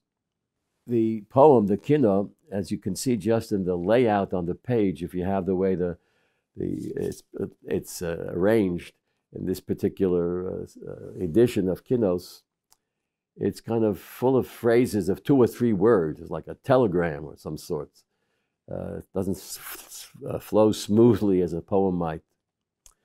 And I think it's kind of uh, uh, the poetry of sobbing, the poetry of gasping. It's not the, the poetry is not poetically, it's not fluent. It doesn't flow because certainly the history of the Jewish people in Christian Europe did not flow easily it was spurts. There were good times and bad times, and good times and bad times, and it comes through in the poetry of the of this particular kina. Um, the the preface in the note, um, many of which were written not by me. I did the translation, but the preface of most of them was written by a man named Rabbi David uh, Fuchs, uh, really a very fascinating Israeli scholar. But he get, introduces the kina um, uh, it shows a, a combination of styles. Each stanza is divided into two internally rhyming, rhyming lines with alternating refrains. However, the lines themselves are not identical in form. The first line of each stanza has two sides, two, two stitches, two, two phrases, while the second has three. Uh, the uh, alphabetic acrostic is followed by uh, Anochi Menachem He'aluv Rabbi Machir. I am Menachem, the lowly, lowly, Aluv, the, the low, the humble person, the son of Rabbi Machir, identifying the author as a member of the aristocratic Bnei Machir family. This is a medieval Jewish uh, member of a, a famous family, then famous family, and here's how he begins. Evel aorer, aninut agarer. That's the, the two rhyming stitches, the two rhyming phrases. I will arouse grief, I will continue in mourning. Oyoli. All right, woe is me. That's like two phrases, two two word phrases, and then one two word gasp. Oy, woe is me. Bifchi amorer, bachamas sorer, drochai sorer. It's, that's three poet, uh, rhyming two word phrases. I will weep bitterly because of the wrathful foe who has strewn my path with thorns. So that's the three line or three phrases of rhyme. Bifchi amorer, I will deep weep bitterly. Amorer, maror, weep bitterly. Bechamas sorer, at the wrath of the enemy. Chema is wrath, sorer is the enemy. Dorochai sorer. Dorochai, my path is sorer, is full of thorns. And then you have that gasp, that two word gasp. Ayalaili. Oh, woe is me. Wail for me. Galut. And then again, the two, the two rhyming phrases, each of two words each. Galut orach. He has extended my exile. Velibi herach. He has weakened my heart. Oy, oyoli. Woe is me. Then the three verses rhyming. Dorach uforach, he has tread and crushed. Forach from the word perech, avodas perech, to be crushed. Nochani nach shirach, he has driven me to Edom and roasted his prey. Vitzedo chorach, he's roasted his prey. He's consumed me. He's led me away to a foreign land. And he's consumed me there. Again, the gasping two words, ay, alalali, wail, wail for me. Hama'at mavishi, did my enemies do but a little? Hama'at mavishi, is that all they did was a little bit to me? Chilalu mikdoshi, no, they destroyed my holy temple. Ay, ayali, woe is me. Vehem bazu kodshai, they plundered my sacred objects. Heichelu mikdoshai, they began with the sanctuary, they began with the Beis Hamikdash, Vizilzilu Kedoshai, and they humiliated my Kedoshim, my holy people. Ay, Alalali. Until now, he could be talking about the Churban Beis Hamikdash. That's the connection between the previous kinos. There's no mention here of Europe, no mention of Christianity. There's a hint of it when he says Nochani Nach which is a, a way of expressing Edom, and Edom in in um, in Jewish tradition is sim, is a synonym for Rome. Edom is Rome. So until now, it's it's written very very powerfully, woe and wail, etc., with poetic power. But we don't know when. When was this? And now comes the transition. Zaman Shnat Tatnu. It was the year works out to be in the Hebrew calendar the year 4856, when they're in the year of 5783. So in the year 4856, which runs out to be 1096 Christian era, 1096 CE, but not only the year, but Biur Aleph Lamachzor Renew, in the 11th year of the 256th cycle. Look in Rabbi Soloveitchik's commentary for more detail about exactly uh, when that was. Oyoli, woe is me. And then the transition becomes from the destruction of the Beis Hamikdash, of holy object, etc., it becomes a destruction of people and the conflict of Roman Catholicism and Judaism comes to the fore. The conflict, the theological conflict. It's not just a military conflict of a persecutor and a victim, it's the ideological, theological conflict behind the concept of, of God and the concept of religion, Torah, mitzvos, etc., the differences which und, were the underlay, the, the, the, the, frame for all of the suffering. As he continues, Chayalot zinu. All right, they armed their hordes. Um, Mekomam pinu. The Crusaders left their homes. They left their homes to go marching toward the land, the Holy Land. Uh, Ko'arbe nimnu. They were numbered like locusts. Uh, we were overwhelmed by thousands and thousands of them. Alalali, wail for me. Ta'us bikshu. They searched. What, what? They searched for ta'us. Ta'us means an error, meaning their error is their religion.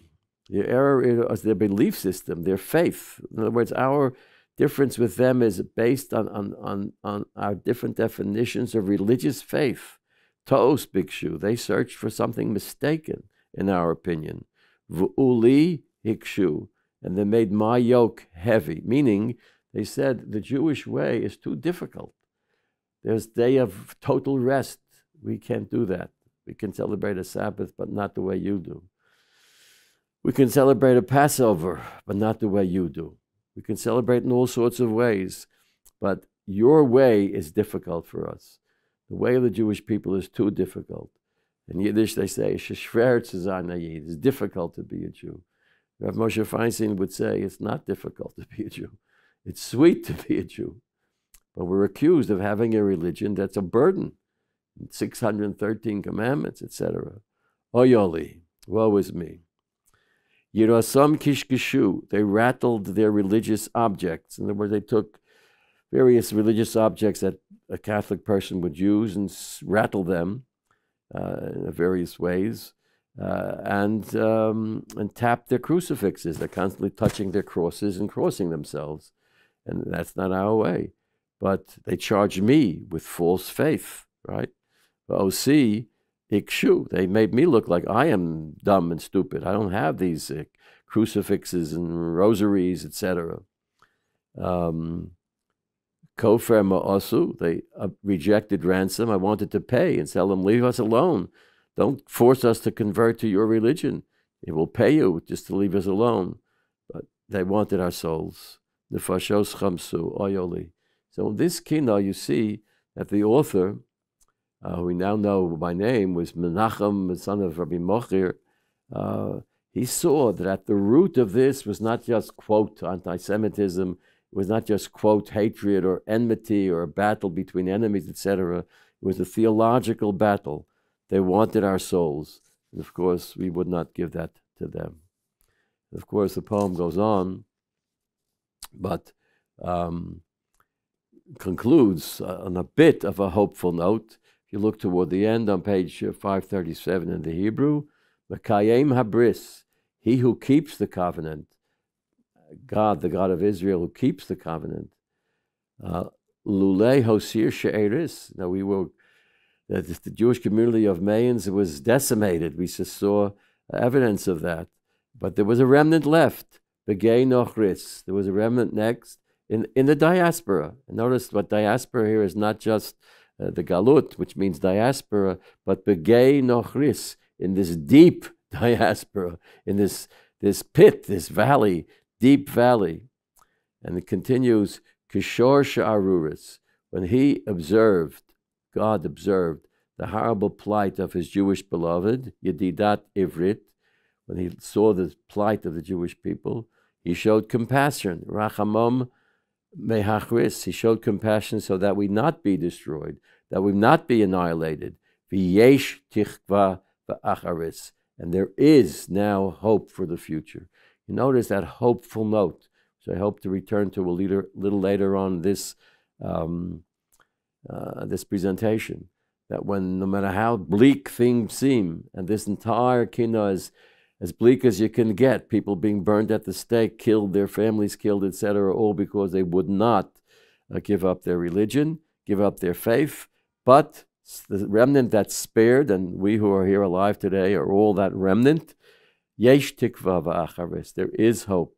And we'll expand upon the nature of that hope um, in a short while. Once again, we will pause.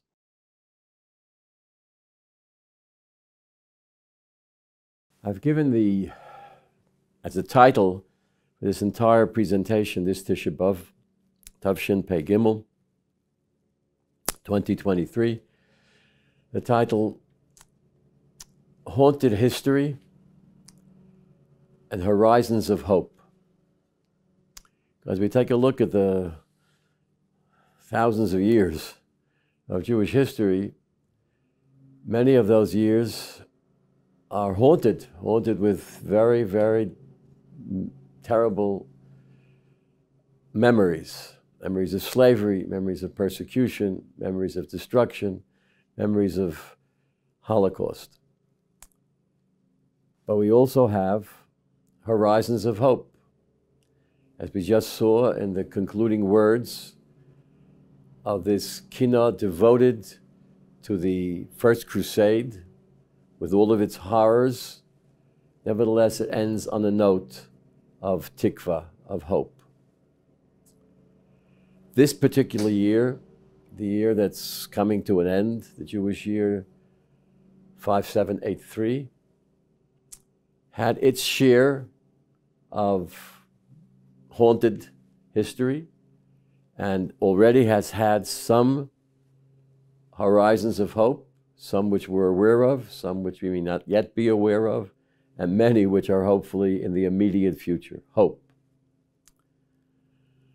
I'd like to begin by looking back at this year in terms of some of those who have passed away during this past year in recent months, who are themselves individuals who were beacons of hope but who are no longer with us. What we do have with us today are two of my colleagues in the Orthodox Union, both of whom who are based in the land of Israel and Eretz Israel, and who are active in the OU leadership internationally. I speak of my good friend and colleague, Rabbi Avi Berman, who is the Director General of OU Israel and a leader in every respect in his own right, and Rabbi Ezra Friedman, who is a leader in the world of kashrus, who works for the OU Kashrus Division in Israel, both of whom are great Talmidei Chachamim and who are great Talmidim, students, disciples of two individuals, and they will engage in a conversation between themselves, between Rabbi Ezra Friedman and Rabbi Avi Berman, about two of their mentors. And I refer to Rabbi Chaim Druckman and Rabbi Shalom Gold, both Aleichem HaShalom, who have passed away recently.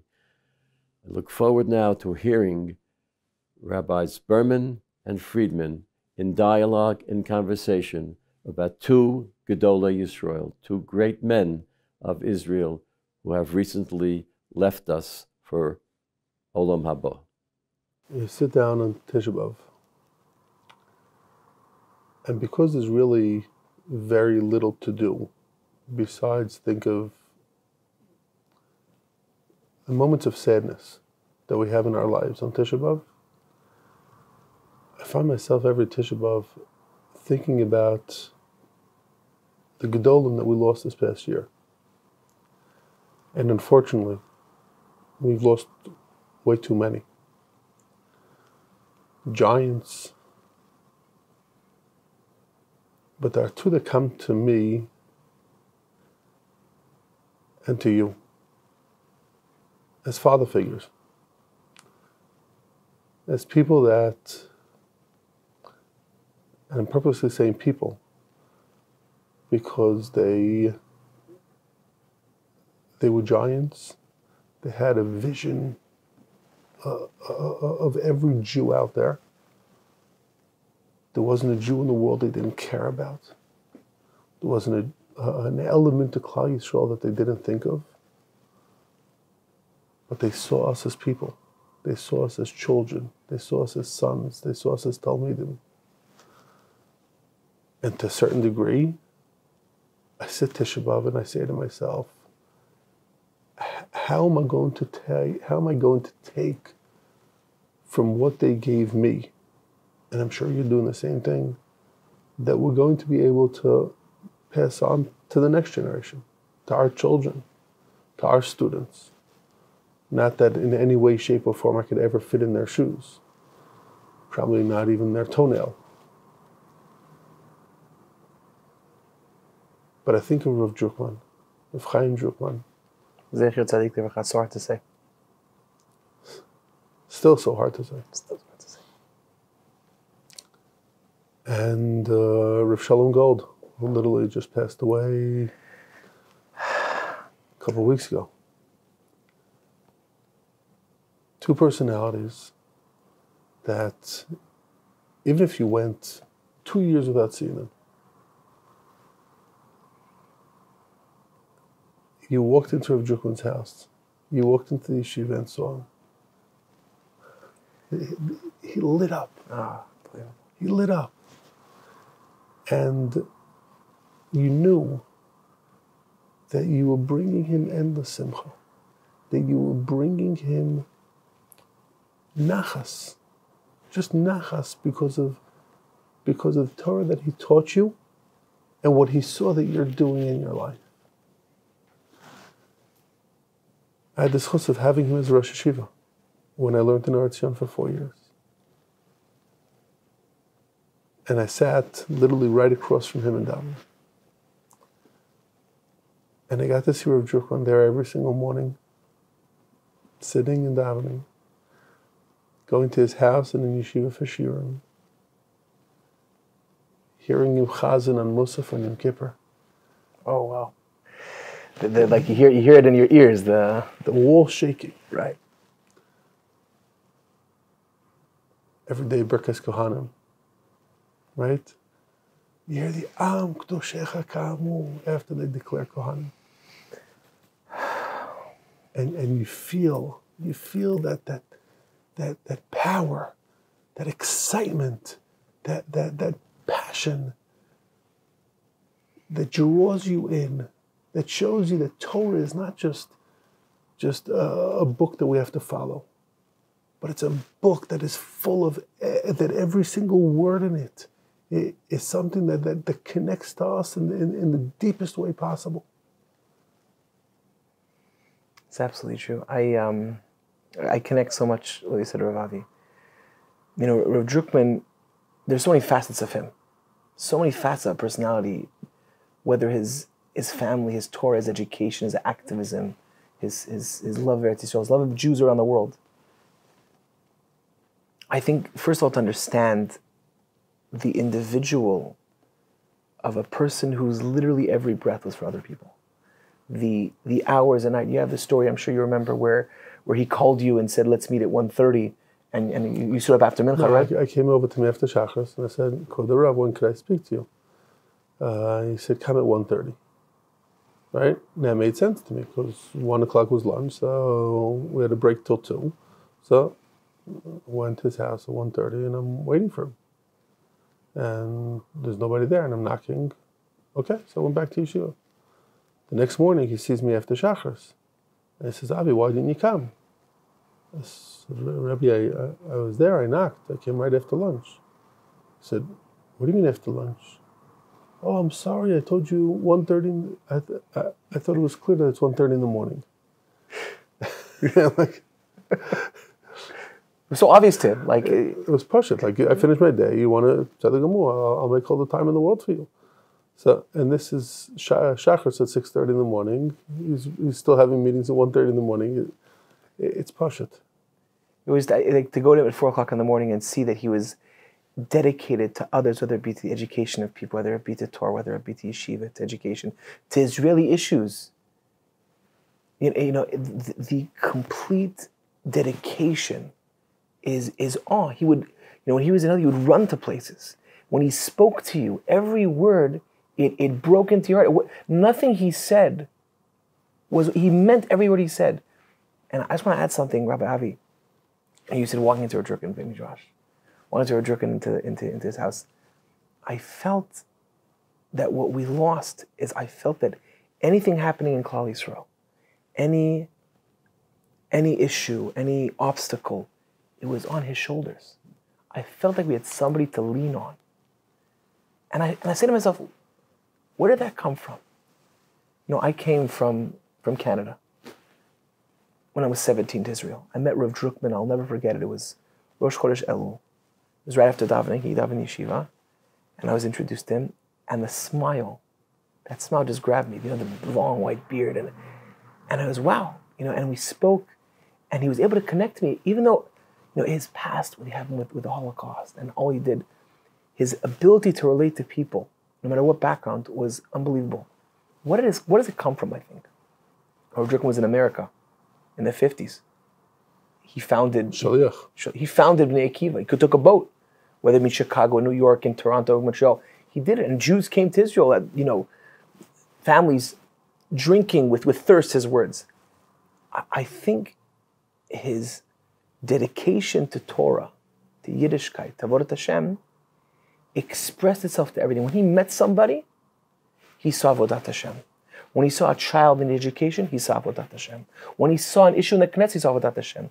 That full, all-encompassing understanding of Hashem in Torah, every word in Torah, like you said, is what personified Drukman. And that was his success. And maybe what we have to realize as individuals, as educators, as people, the Beit Midrash has to face everything, has to take it with us whether it be with our children, with our friends, with, with our nation, with our people. I think that's something that we have to take from him. You know, my kid, my son, in fifth grade, came home about a year ago. Um, and they were learning in school the song of Titena Charit Lamecha. Right? It's a song that is pretty much sang at every single Israeli wedding and uh, I've seen it already at a couple weddings in America as well. A song that, that literally is coming, the words from Musaf on Yom Kippur. And Rav Drukman was such a person of emes, and he wasn't able, he literally wasn't able to say a lie. 100%. Okay? And he had a karasatov so he took the words of Lamecha and he made a number of changes. I, pr- I printed them out. Oh, I actually printed them out because, you know, a couple lines here inside the Titena Charit Lamecha, right? Tidrosh Giula Legalatenu, right? Demand uh, um, redemption. redemption to our gullus, right? And he said, listen, we, we, we can't we can't come and say that we're we're still in the depth of Gullus, but we have to have a karsatov for what we already have. Mitzad Sheni, we still want the Geula to come. So he changes the word minigalutenu to lishvutenu, to us returning to the land of Israel, right? Um, or tiferet yeshva badad, right?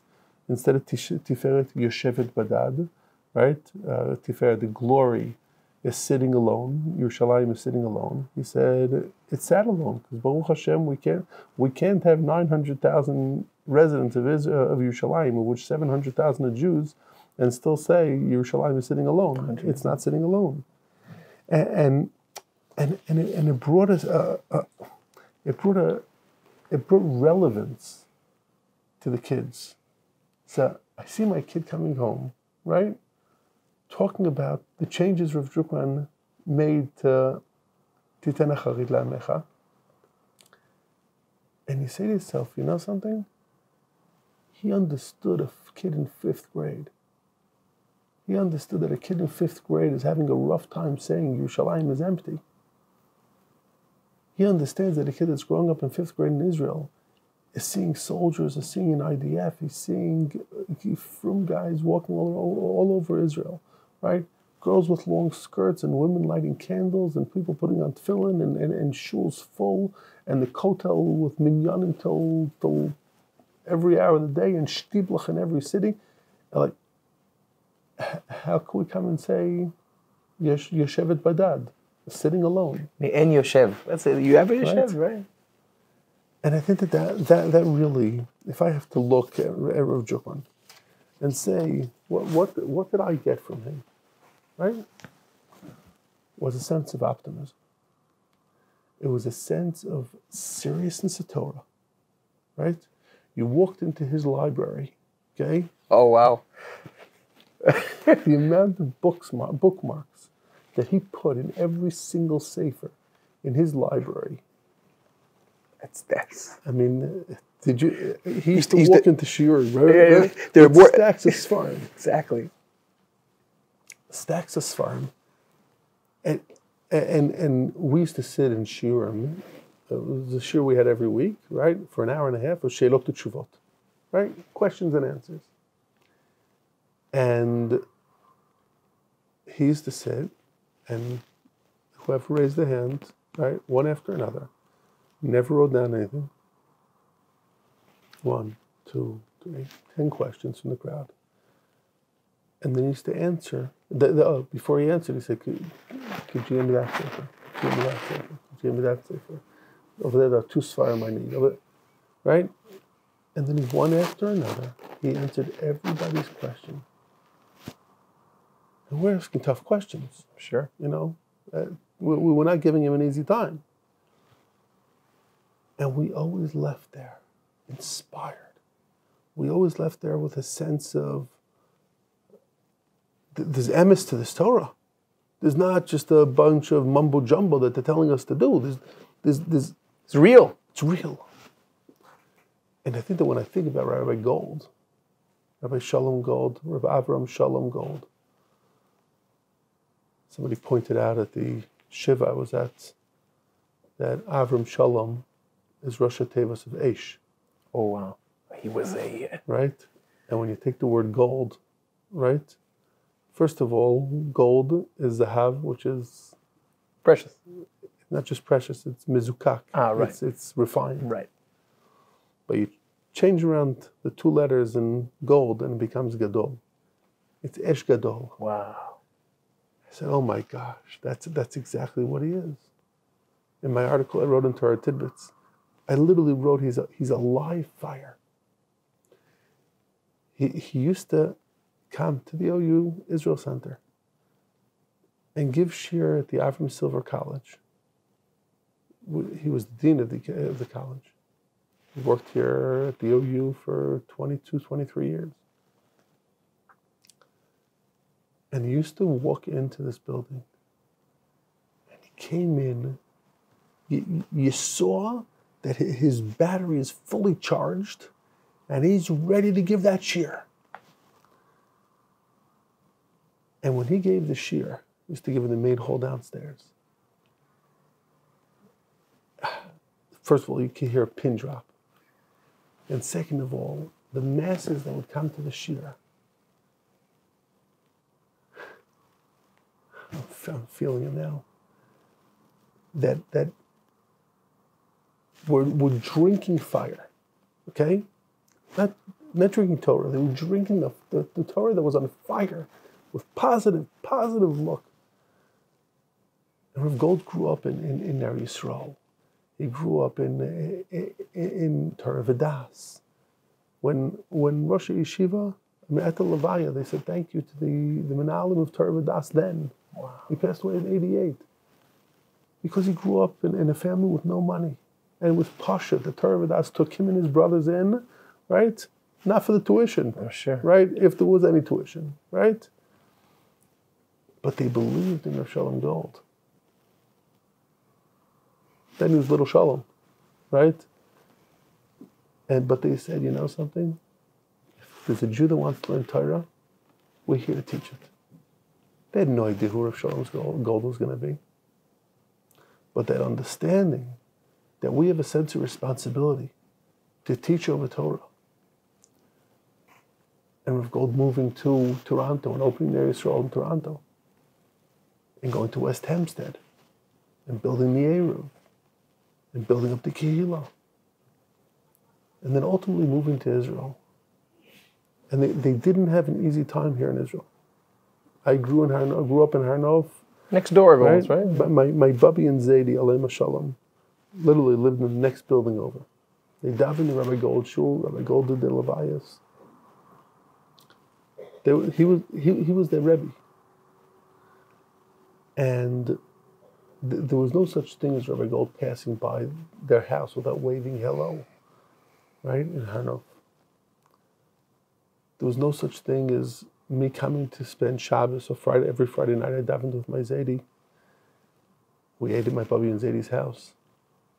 I learned not far from there. I used to come to Har Nof a lot.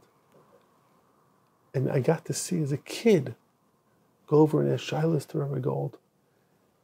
The love and attention that he gave To every person. to, to every little kid, right? Wow. But you saw that, and then you saw the shirim that was that he was giving, and the, the, the excitement and power of Torah. And, and and you said, "Wow, this is, this is, this is, this is, this is something I want to adopt." I heard Rav Gold is the prime educator, this educator, the, the, the, the bring over of Torah. So, what would you say that we could take from Rav Gold's an educational, his message? What can we take today? You know, it's it's so fresh in our. I, I, I just it's it's it's so fresh. What do- what do we do now? How do we take that esh gadol, and and bring it down today? I think first of all we have to acknowledge the fact that it doesn't come without limud Torah. It doesn't come without sitting. Rabbi Gold used to take me, tell me, it takes him two days to prepare his shir. Wow. So people say, oh, Rabbi Gold gave such incredible shiurim. First of all, he used to walk into my office when he finished the shir. okay? It was like, Rabbi Gold, what happened? right? And part of it was because he was very dramatic. But part of it is because he, he really prepared every shir. He said, if, if 80, 90, 100 people are coming to listen to my shir, I got to give a chashivas. I, I, I got to take them seriously. They're busy people. They're taking out of their day. They're driving to the OU Israel Center. They're you know spending the time here. They're driving back. I got to take I got to take it seriously. And the hours that he spent preparing the shiur, you say to yourself, "Wow, that's a person that that, that understands that that he, that he has to pass something on." When he told me that he wants to stop giving shiurim here, he said, Avi, I have so much Torah I want to put into Sfarim. I want them to live on. And I think that that's the message that we should take from him.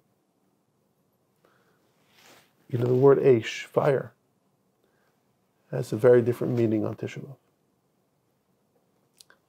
We think of the burning of Torah. We think of the burning of Beis HaMikdash. But Rabbi Gold told us, showed us, taught us that Torah can be given over in fire. I think Rav Drukman as well.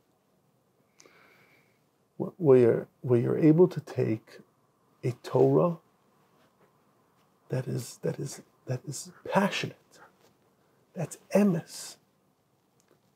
When Rabbi Gold got up there and and he, he he had his political opinions, and he was for Eretz Yisrael Shalema, and he was for right, and he was against the, the, the peace agreements, and he was, and he came with with with with with power, and and he he wasn't shy of anything. What he believed is what he said, and what he said is what he believed.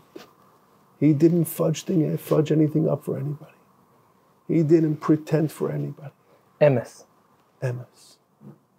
Mamish Emes. I was sitting at the Shiva, and there's a story that somebody told over there that Mamish sat with me. It was um, Mr. Jacobs from, uh, from Har Nof. He said that he was walking on the street not far from the OU Israel Center. He said Rabbi Gold was probably on his way to the OU Israel Center. And the siren goes off on Yom HaZikaron. And he's walking a bit, a bit behind Rabbi Gold, and the siren goes off, and he stops and stands. And then Rabbi Gold is standing as well. And after the siren stops, he walks faster to catch up to Rabbi Gold and he sees Rabbi Gold crying. And he said, Rabbi, and without, without him being able to ask a question, Rabbi Gold says, I felt it. I felt every single soldier. And that's the Klal Yisrael Yid that he was. You know, on, on Tisha B'Av, you mentioned the idea of fire. So we say that and we say in the tefillah of, of, Tisha B'Av, we say, Be'eshet tzata, and in fire you burnt it. What's that message of the fire? I mean, you're, you're going to build it also in the future in right. fire. What, what is that? So I, I think that I understand a new meaning of that by these two rabbis, Rabbi Goldman and Drukman. There's a Hasidic story that says that a man, a Hasidic Rebbe, was outside his house on Shabbat afternoon as his house was burning down. And you know, there the day is different, but in Hilchot Shabbat you can't put out a fire, right? You can only say certain things. So this person's town comes by, you know, everybody's out of the house, they're all fine. The Rebbe's watching, and fellow Jew, fellow member of the town says, Rebbe, if you could save something from this house, what would you save? Your svarim, your possessions, your memories, your your your your, your ritual stuff. I'd save the fire. Rebbe said, if there's something I take from my house, it's not the, it's the fire, the brine, that's what keeps us going. I think that's the pshat of Tisha B'Av. That the esh and the fire, you're going to rebuild it, that fire we need. That's why Tisha B'Av is a moed. Because now it's a new beginning, but there's that power we have to relinquish, we have to take back, and now use that fire. These Gdolim gave us that fire. The Esh Gadol of Gold the Esh of Drukman. We have to take that fire now and say, how do we bring that fire back? That fire that warms, that builds, that connects, and build after Beit HaMikdash. Amen. Amen. After hearing the perspectives of both rabbis Berman and Friedman on rabbis Druckman and Gold, I'd like to share with you a word or two about my connection with both of these individuals. I've known Rabbi Shalom Gold, Zichrono Levrocha, may he rest in peace, for many, many years. He studied in Baltimore, probably before I came to Baltimore. He has smicha from Yeshivas Ner Yisrael was a very prominent rabbi in several positions in the United States. He was a rabbi in Toronto, Canada. And then in the early 1980s, many years ago, 50 years ago, he made Aliyah to Eretz Yisrael and has since become one of the most prominent advocates of Aliyah, of having Jews living in the diaspora move to Israel live in Israel full time, influence the culture, the education, the spirituality of the land of Israel. And he was very, very firm and clear and articulate and demanding of each of us who dwelt, that chose to live and practice and serve the Jewish people in the diaspora. And when he comes before the Kisei HaKavod, when he comes before the Ribono Shel Olam, he will be able to say, with all honesty, that he tried his best to get every Jew to return home.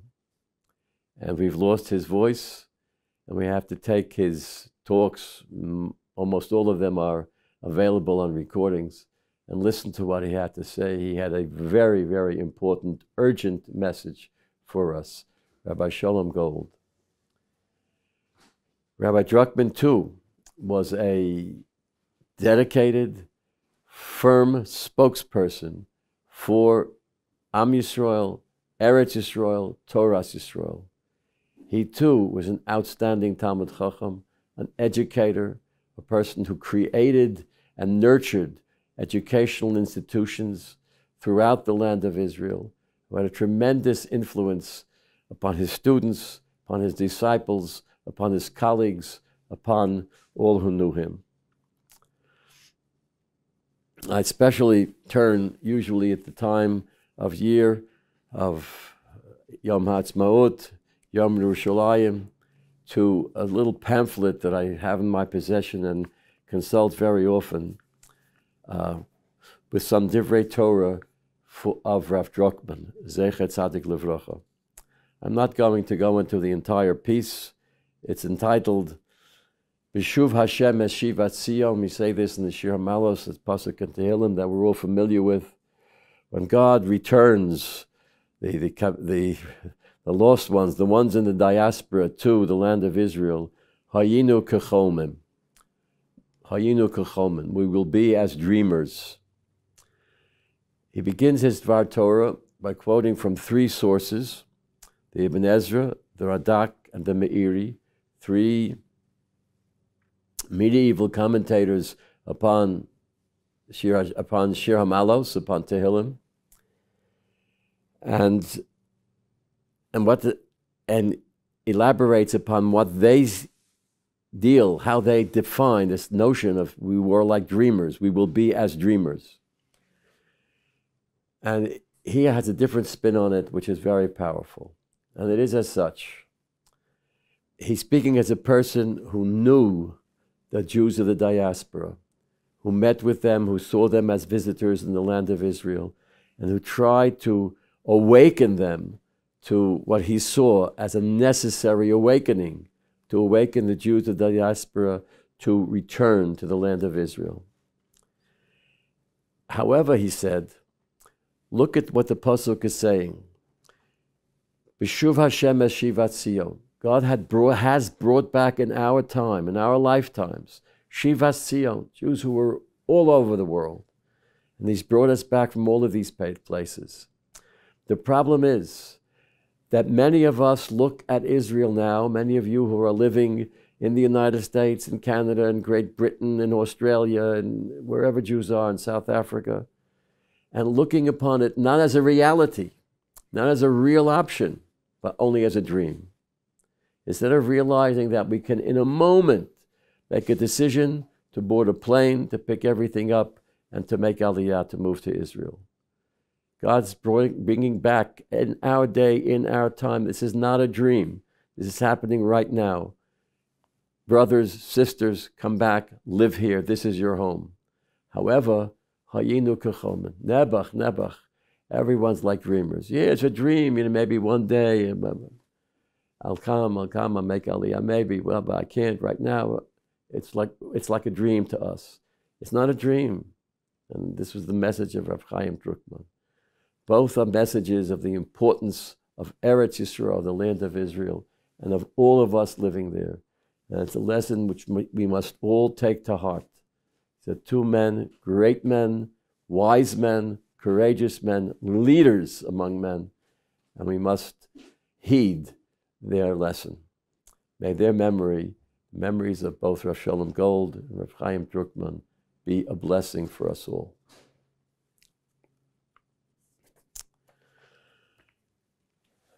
Sadly, this year, several months ago, we lost a different great leader, a fascinating person who also spent, if not all of his life, most of his life in Israel.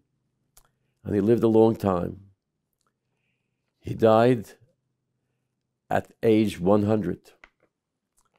And he died on the same day that he delivered his last lesson, his last shiur, his last lesson in teaching Torah at age 100. When did he begin his career in teaching? The yeshiva in Ponevezh and Bnei Brak, 80 years ago.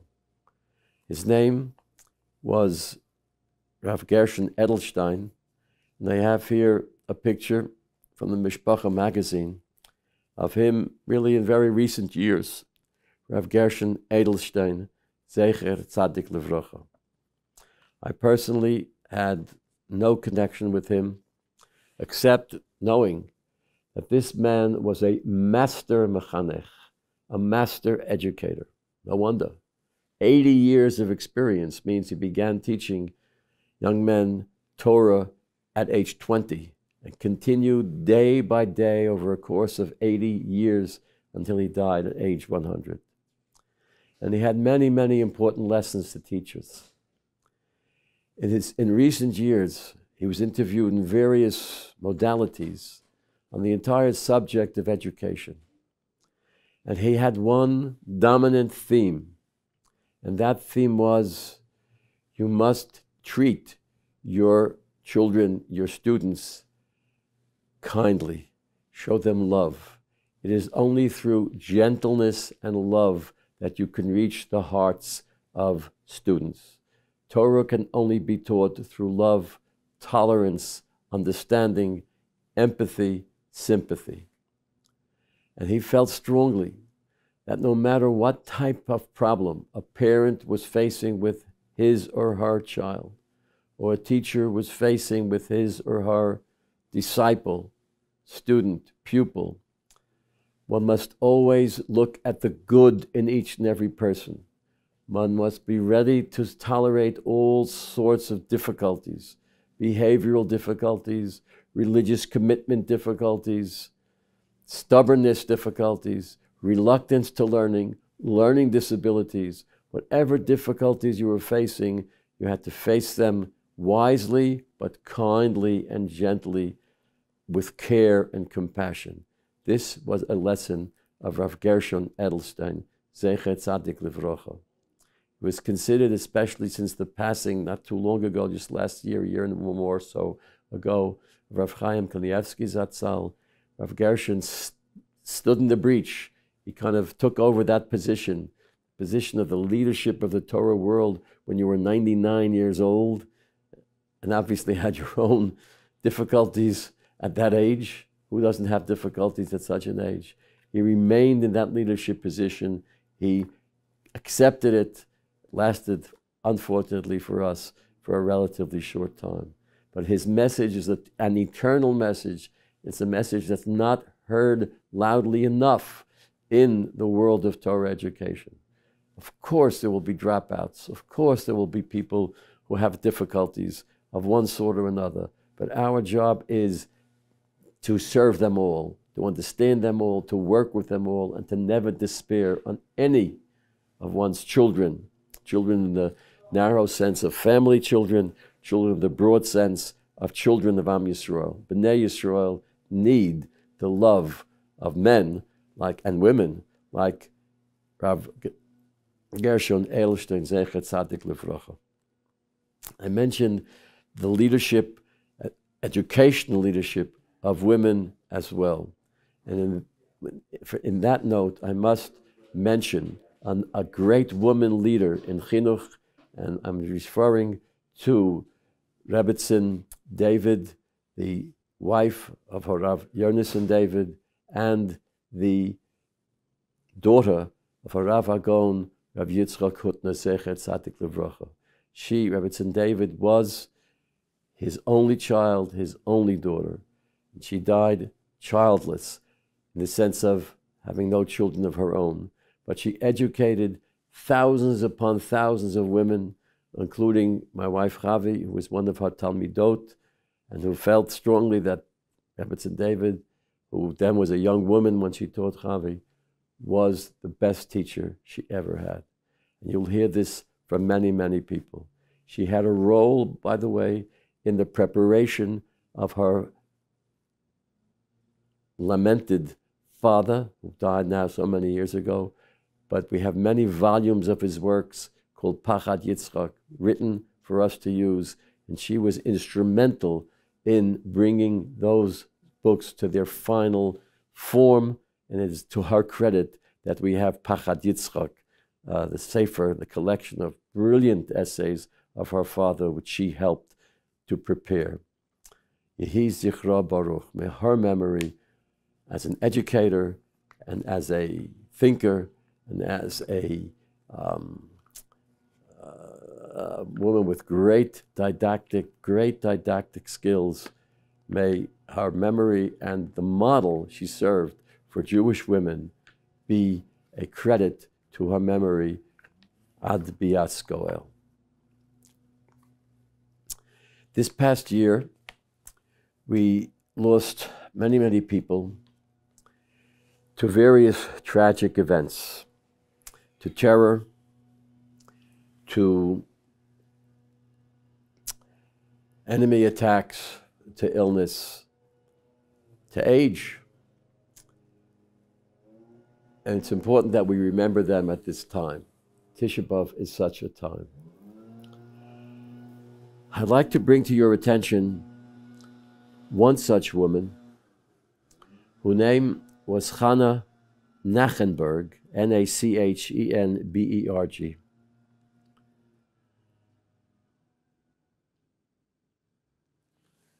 Chana Nachenberg died this year, just a few short weeks ago, a few short months ago, from an act of terror.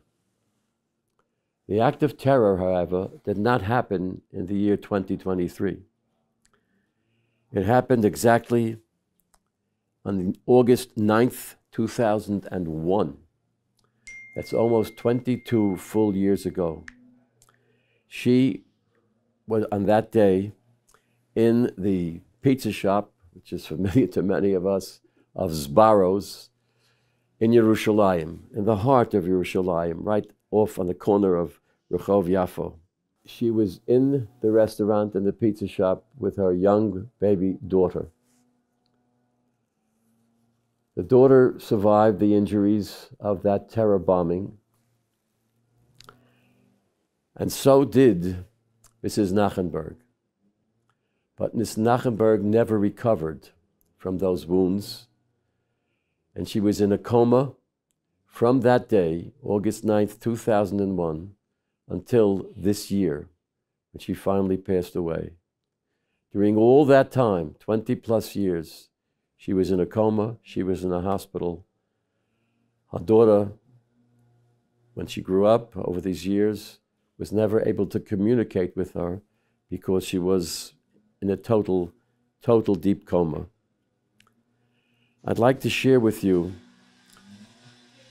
some writing that Mrs. Nachenberg's daughter did, reflecting as a teenage youngster on a mother who is not dead, but also not alive. Let's hear what she has to say. I'm taking this quoting from the Jerusalem Post, updated June 1st, 2023. And it reads New York born Chana Nachenberg was 31 years old when the bombing happened at the Jerusalem Sbarro pizza place. It was a Wednesday that she died, almost 22 years after a Palestinian suicide bomber bombed the Sbarro place, putting her in a vegetative state. With her in Sbarro's was her two year old daughter, Sarah, one of the few to survive the attack unscathed. So here you have daughter Sarah, two years old, and mother Chana, who died at that point this day, this week, just a, a month or so ago. It was a man named Iz al-Din Shuhail al-Masri who bombed the Sbarro place on the bustling corner of King George Street and Yaffa Road on August 29, 2001, killing 15 people, including seven children and a pregnant woman, and wounding 130. The bomb that he carried to the restaurant included nails meant to cause extra injury. It's impossible to imagine a woman in a vegetative state for almost 22 years. What was her life like? Was it a life? But it is possible not only to imagine, but to learn from her surviving daughter, two years old when her mother was destroyed in her presence in an innocent outing at a pizza shop, and from her father, from Mrs. Trachtenberg's husband, who lived on and on to this very day. But the little girl, the two year old, has discussed numerous times for the media, making public statements about some of her experiences growing up as a little girl, a teenager, and now as a woman in her woman in her early 20s about what those years were like for her. Obviously when she was 2 years old she couldn't even verbalize what she had experienced and what she was experiencing. But as she grew up she began to resent the fact that she had no mother she began to resent the fact that people were asking her about her feelings about her mother, whom she never really knew. She began to wish that no one would ever ask her or talk to her again about her mother because she had no way of dealing with the concept of a mother. Her father was her father and her mother, and she spoke that way. And then one day, probably in her late teens, she had a, a close friend, a boy more or less her age, whom she found a kind of kindred spirit who she could talk to. And she decided that she would go with him to her mother's bedside. She rarely went to visit her mother because she couldn't communicate and couldn't be communicated with by her mother. And somehow, in the company of her young friend, she was able to visit her mother's bedside, to speak to her somehow, and to feel that she had been heard. This is a tragedy which uh, it's unimaginable to see what this young woman could experience, and what, of course, the woman dying after 20 plus years in a vegetative state, what kind of a life she could have had, how we ought to come to terms with such a life. Now she has been brought to rest. I'd like to pay some homage to some of the individuals who were killed in acts of terror, similar to Sbarro's, but in more recent times. And let's just begin with this past September, less than a year away, a year ago. Major Bar Falach, 30 years old, of Netanya, deputy commander of the Nachal Reconnaissance Battalion, was killed in an exchange of fire with terrorists in an incident north of Jenin. About a week later, Shulamit Rachel Ovadia of Cholon, an 84 year old woman, was bludgeoned to death in a terror attack near her home. On the 8th of October this past year, Sergeant Noah Lazar, 18 years old, of Bat Hefer, was killed in a terror attack that took place at a checkpoint near the Shuafat refugee camp in East Jerusalem. Later in October, Staff Sergeant Ido Baruch, just 21 years old, of Gadera, a soldier in the Givati reconnaissance unit, was wounded while on duty securing a march by settlers. He was rushed to the nearest hospital where he later succumbed to his wounds. On the 29th of October, Ronen Hanania, 49, of Kiryat Arba, was shot and killed in a terrorist attack near the entrance to Givat Ha'avot on a Shabbat evening.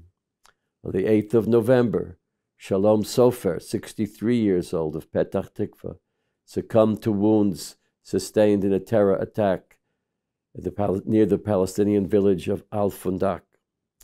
On the 18th of November, Mati Ashkenazi, 59, of Yavne, killed by ramming, st- stabbing terror attack. 15th of November, Tamir Avichai, 50 years old, of Kiryat Netafim, was killed in a ramming, stabbing attack near Ariel. And 15th of November also, Michael Ledigin, 36 of Bat Yam, killed in a ramming, stabbing terror attack near the city of Ariel. 23rd of November, Aryeh Stupak, 16 years old, was killed in one of two almost simultaneous explosions at bus stops, the entrance to Yerushalayim. Later in November, Tadasa Tashuma ben Ma'ada, 50, of Yerushalayim, succumbed to the wounds from that explosion, the entrance to Yerushalayim. January 27th, Natalie Mizrahi, 45, of Beit Shemesh, was murdered together with her husband Eli and five other Israelis in a murderous attack Friday night outside a synagogue in Jerusalem's Neve Yaakov neighborhood. And her husband, Eli Mizrahi, 48, in that attack. January 2023, Asher Natan, 14 years old, of Neve Yaakov, was killed Friday night in a terror attack outside a synagogue near his home. January 27th, 2023, Raphael ben Eliyahu, married and father of four, was one of seven victims outside that attack outside a shul in Neve Yaakov. So, in that same incident, Ilya Sosansky, 26, was one of the seven victims. That one of the second victims was also Shaul Chai, 68, killed outside that same synagogue, the Yaakov neighborhood. So too, Irina Korolova, age 60, was one of those seven victims. February 2023, Yaakov Yisrael Paley, of Yerushalayim, one of three victims killed in a ramming attack. That same day, Alter Shlomo Lederman, uh, 20, was killed in a car ramming attack in Ramot. next day, February 23, the brother of Yaakov Paley, Asher Menachem Paley, six years old, I'm sorry, eight years old, of Yerushalayim, the older brother of Yaakov Yisrael Paley, succumbed to his wounds in that ramming attack in Ramot. Border Police Officer Staff Sergeant Asil Sued of Husania in northern Israel was killed in an attack by a routine during a routine bus inspection by a 13-year-old Palestinian outside the East Jerusalem refugee camp. February 2023, Hillel Menachem Yaniv was one of two brothers killed in a terrorist attack. Yagel Yaakov Yaniv, age 20, was the older, was the younger of those two brothers. Around the same time, Ilan Ganelis, 26 years old, a dual U.S. Israeli citizen, killed by terrorists in a shooting attack on Highway 90. March 2023. Or Eshkar, 32 years old, of Tel Aviv, a terror attack on Dizengoff Street, March 9th. April 2023, Maya Dee and her sister Rina Dee, both of the West Bank settlement of Efrat, were killed on a Friday. A few days later, April 2023, Alessandro Pani, 35, a lawyer from Rome who was in Israel on vacation, killed in a ramming attack. April 11th, Lucy Oleya Dee, 48 years old, the mother of the two daughters, was died from the wounds she sustained in that terror attack. May 2023, Inga Avramyan, 82 years old of Rehovot, was killed when a rocket attack launched from Gaza during Operation Shield and Arrow struck her home. May 2023, Meir Tamari was attacked and murdered in a drive-by shooting near his home. It's just a partial list to the end of May of soldiers, policemen, innocent children, innocent adults killed by terror just in recent months up until six or seven weeks ago. And there have been several since.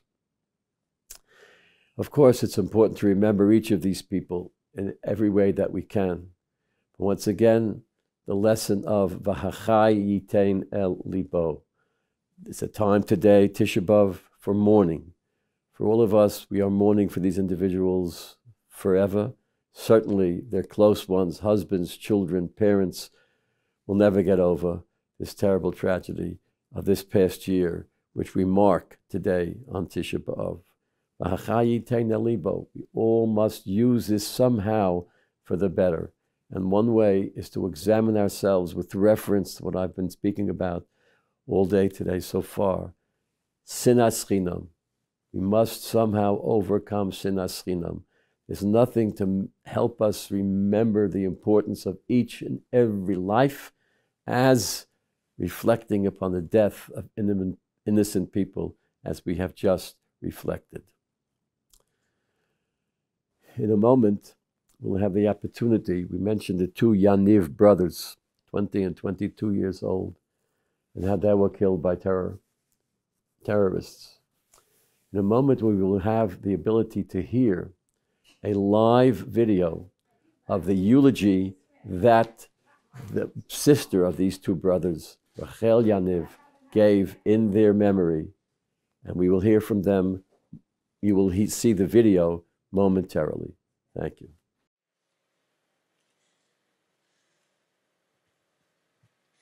הערב הזה אני, רחל, ניצבת כאן לזכרם של אחיי האהובים, הלל ויגל, שנרצחו והותירו חלל ענק בלב. אני רוצה להזכיר כי במשך חודשיים נרצחו עוד אחים, הילדים יעקב ואשר פליי, והאחים רינה ומיידי, שנרצחו ביחד עם אמם לוסי. בחיים לא תכננתי שביום הזיכרון אתייצב כאן כחלק ממשפחת השכול, חלק ממשפחה ענקית שלא התכוננה מעולם להיות כזאת, שנושאת עיניה לשמיים בתחינה שמותם של יקיריה לא יהיה לשווא, שעם ישראל חי ויחיה חיים מלאים של שמחה ופריחה, ויתמו הרצח והשנאה מארצנו, שנשוב ונתאחד להיות עם אחד, כי כשאנחנו ביחד לא יוכלו לנצח אותנו, כי אנשים אחים אנחנו. אנחנו, למרות המחיר הבלתי ניתן לתפיסה ששילמנו, אנחנו ממשיכים לאהוב, לאהוב את הארץ שלנו, לאהוב את מדינת ישראל ואת צבא ההגנה לישראל. עצוב לנו כל כך ביום הזיכרון הראשון ללא בני משפחתנו, שעדיין לא הקלנו שהם אינם עמנו. עצוב ומוזר כל כך לומר, יהא זכרם של יעקב ואשר פלאי, והאחיות רינה ומיידי ואימם לוסי, ואחיי הלל ויגל. ואחיי הלל ויגל האהובים, יהא זכרם ברוך.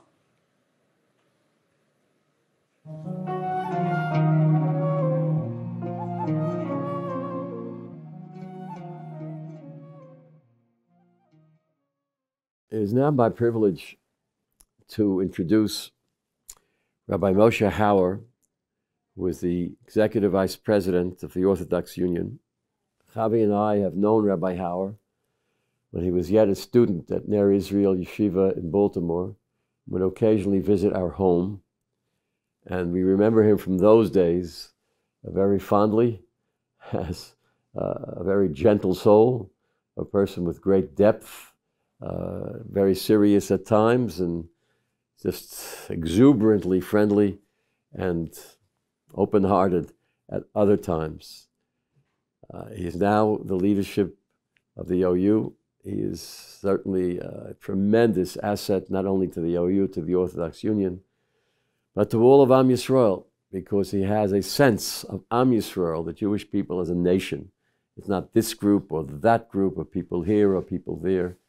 And his connection and focus upon the problems and how to solve them, the problems of local communities, the problems of Jewish communities all over the world, the problems of the land of Israel. He has so much to contribute, and we wish him tremendous hatzlacha on all of his works. I'm especially proud of the fact that occasionally when he introduces me to an audience, he will refer to me as his mentor. Very proud that he gives me that title, um, whether I deserve it or not. Uh, but I want him to give him the opportunity on this presentation to be part of my Tisha B'Av, my 35 year old um, uh, uh, career as a person who gives this type of a talk on the website uh, to the entire entire world, whoever wants to tune in. I hereby present to you Rabbi Moshe Hauer. In 1913, it was a Shemitah year, and there was a, a great dispute about how to handle the Shemitah and the, the heterim, the special permissions which were granted uh, that perhaps went sometimes beyond the permission that was granted. A debate that existed that, that occurred between the Ridbaz and Rav Kook, two Gedolei Olam, two great Torah scholars. The Ridbaz took a much stronger position, and there was an exchange of letters between him and Rav Kook. And the Ridbaz just simply could not understand how, how Rav Kook could look so favorably on those who were really disregarding and it seemed to be you know trampling the mitzvah of Shemitah. And Rav Kook, in his way, he responds that of course he dislikes the negative of what those people were doing. But his way, and he says it almost as, uh, as just a, a, general commentary that you know, he studies not just the open Torah, the Nigla, but also the Nistar, also the hidden Torah. And in a sense, in the same way, he looked not only at the Nigla, at the open and obvious uh, behaviors and qualities of those who were doing things that were disturbing, but he also saw the nistar. He also saw that which was inside them, and he saw the good, and he wished to strengthen, support, and magnify the good. You know that as we face the challenges of sinas chinam, of hatred, free hatred, uh, the level of division, which continues to be strong and in certain ways, uh, in these days, in this past year, uh, stronger than many of us can remember uh, between Jews. And it's so jarring and so disturbing.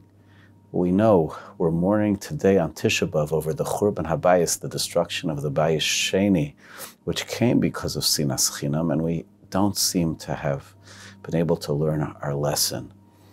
Chazal instruct us about the importance and the significant weight of speaking properly about each other, about Shmiras Haloshon. And it's, it's so difficult. It's the ultimate, the, you know, the most direct expression, one might say, of Sina is to speak negatively about each other. Uh, but uh, it's such a difficult thing to safeguard ourselves against. How do we do it? So David HaMelech, in the most famous verse about Shmiras Haloshon, told us exactly how to do it. He said, isha who's the person who desires life, ohev yomim, who loves days liros tov, to see good. Nitzar lashon chamira, safeguard your tongue from speaking evil.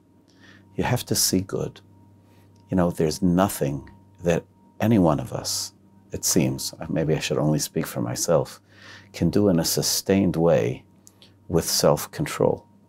If we go on a diet and we're incredibly successful, we de- deprive ourselves of every food that we enjoy, and we manage to lose tens of pounds, uh, and it's a great success. But at a certain point in time, if we feel like we're starving ourselves and we're not having what we really like, we yo yo, right? We go back up. Uh, and the way we succeed in the dieting is if we actually start liking healthier foods and leaner foods. Then we say, hey, we found something that we like. We can do that. It doesn't require tremendous self control anymore. If we need to exercise and we force ourselves to do something which is drudgery and boring. Um, we can do it for a while because we know that it's important, but we can't sustain it. The trick to sustaining good behaviors is to find behaviors that we can enjoy or to actually transform our tastes to enjoy them.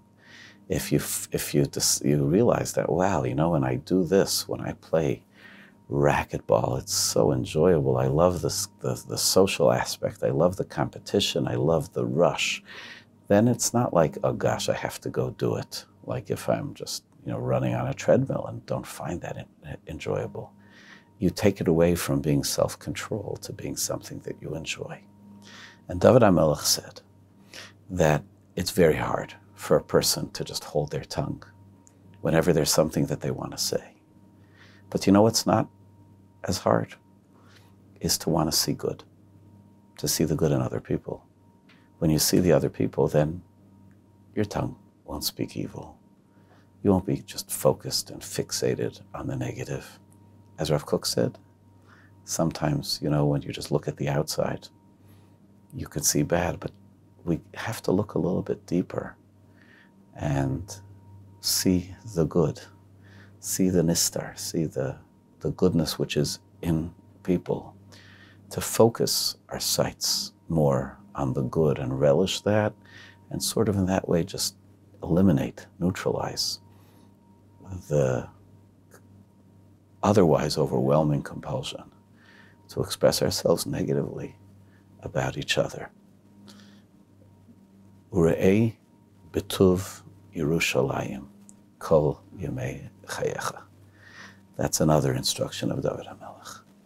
As we look on this anniversary of the Chet HaMeraglim, where people came to Eretz Yisrael, they saw wonderful things, but they focused on the negative things. We have a mandate which we fulfill and will God willing, fulfill forward, to see the good, to see the good in Yerushalayim, to see the good in Eretz Yisrael, to see the good in every Jew, in every one of our fellow Jews.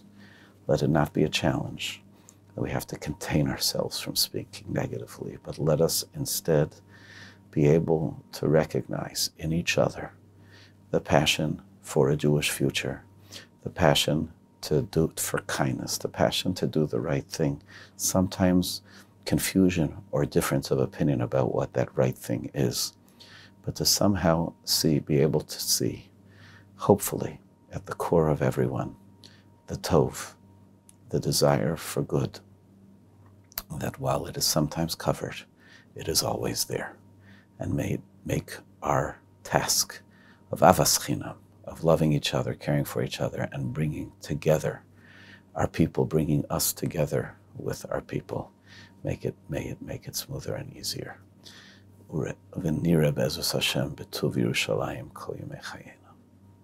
As we go through the haunted history of the Jewish people, and we jumped from the first Crusades, the experience of the Jewish people in Christian lands,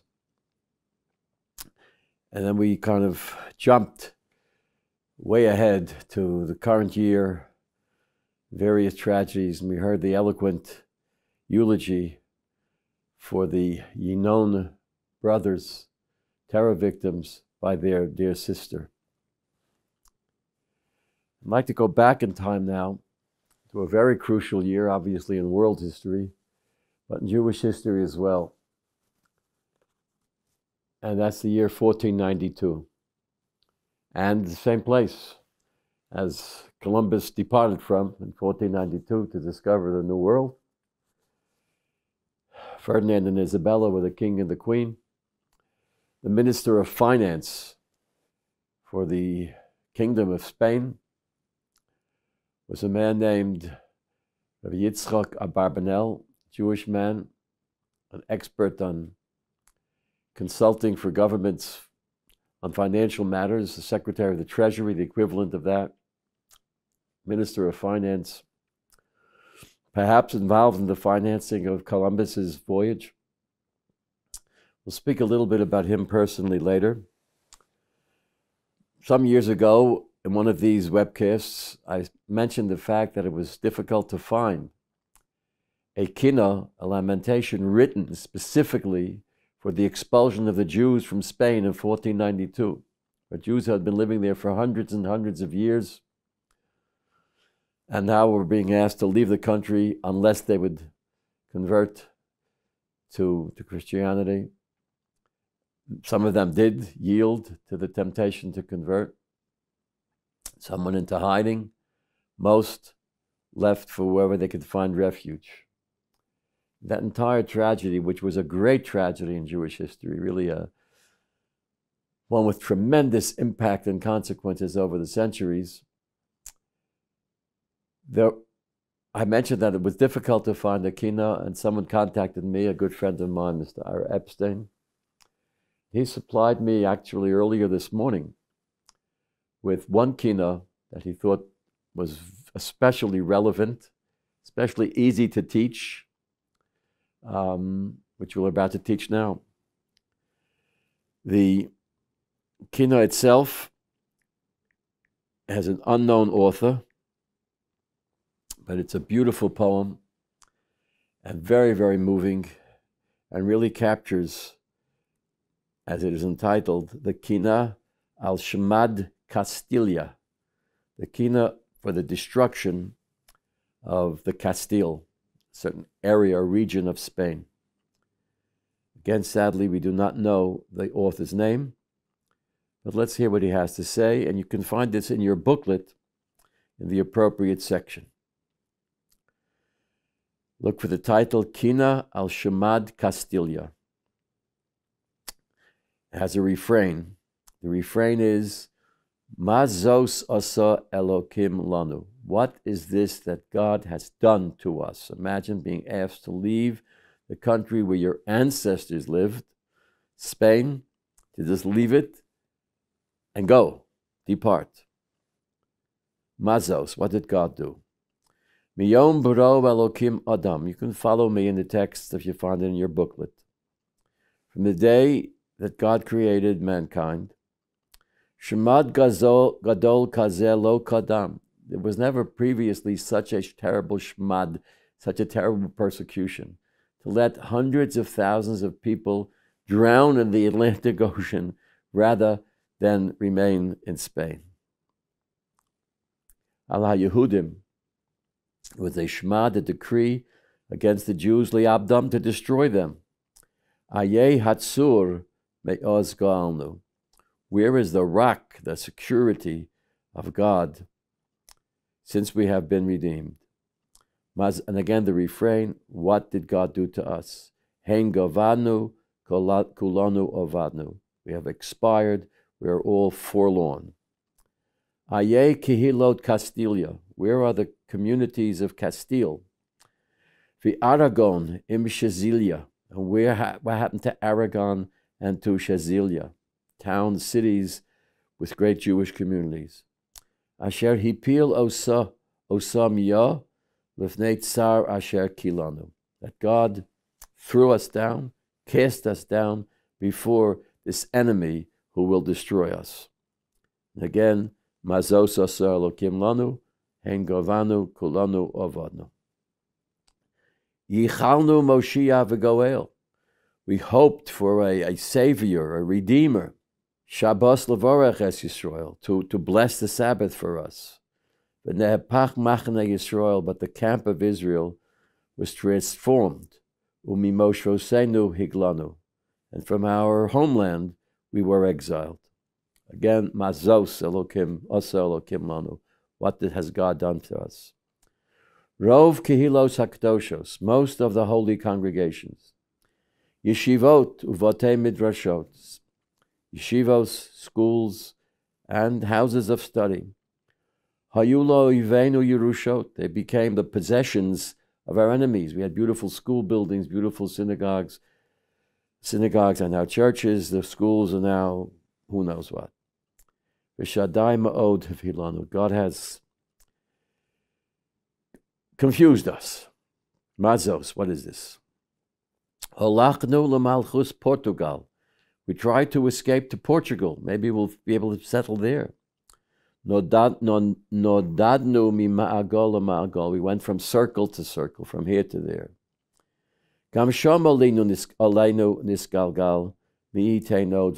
Even there in Portugal, you know, the, the wheel of fate just rolled over us. what's, what's lacking except death? Mazos. What has God done? Yotzu achenu gerushim. Our brothers, our brethren went out, chased out, expelled. Bachurim zekenim v'yishishim, young men, old men, very old men. V'gazru gezerot kashim ad Hashem od hadimonu. They decreed, decreed terrible decrees until we are, we are just done for. Again, mazos, what has God done? Nifalnu meirov yeshuos.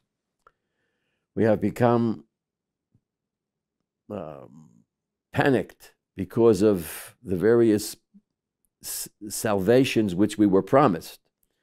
Kol hayom rabos veros, every day is, is terrible.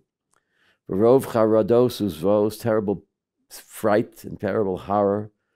Umuraro savana, we have swallowed bitter herbs. Mazos, what has God done?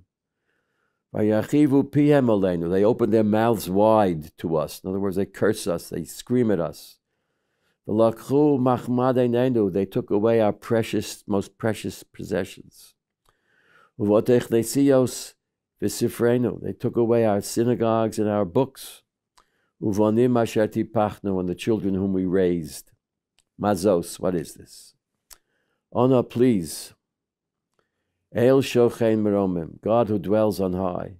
Shalach nechama lahalomim, bring consolation lahalumim, bring consolation to, to those of us who are just silenced. Kabetz nidachim ba'amim, gather together those who have been chased away among the nations. Niflaot aseimanu, do wonders for us. And the conclusion is the refrain, Mazos Lanu, what has God done for us? And Gavana, we have expired. Kulanu Avadna, we are all lost. Kina lo yadua al Seforad Avraham David. This is an unknown kina by a person named Avraham David. We don't even know who the author was. That's the, the, the a written for the entire experience of the Spanish expulsion. There's one person I just mentioned that I'd like to say at least something about, something insufficient. And that is Don. Don means sir, someone with a very high political position in Spain. Don Isaac Abravanel. The Abravanel family to this very day is a distinguished family among the Jewish people. But it was so hundreds of years ago, long before the expulsion of the Jews from Spain in 1492. The leader of the Jewish community, as well as the most trusted advisor in the cabinet of King Ferdinand and Queen Isabella, was Rabbi Isaac Abarbanel, Yitzchok Abarbanel. He was the author of a vast, vast number of books. He wrote an extensive, thorough commentary on all of the Bible, on the Chamisha Chumshei Torah, on the Nevi'im Uksuvim. And he wrote many books in addition to that, philosophical books, Rosh Hashanah. He wrote a commentary on the Moreh Nevuchim, on the Rambam's Moreh Nevuchim, and, and various other books. He was born in Portugal, not in Spain. And in Portugal, too, he rose to become the main financial advisor to the King of Portugal. King of Portugal passed away. His replacement exiled Rabbi Bar Barbanel, and he ran, fled to Spain.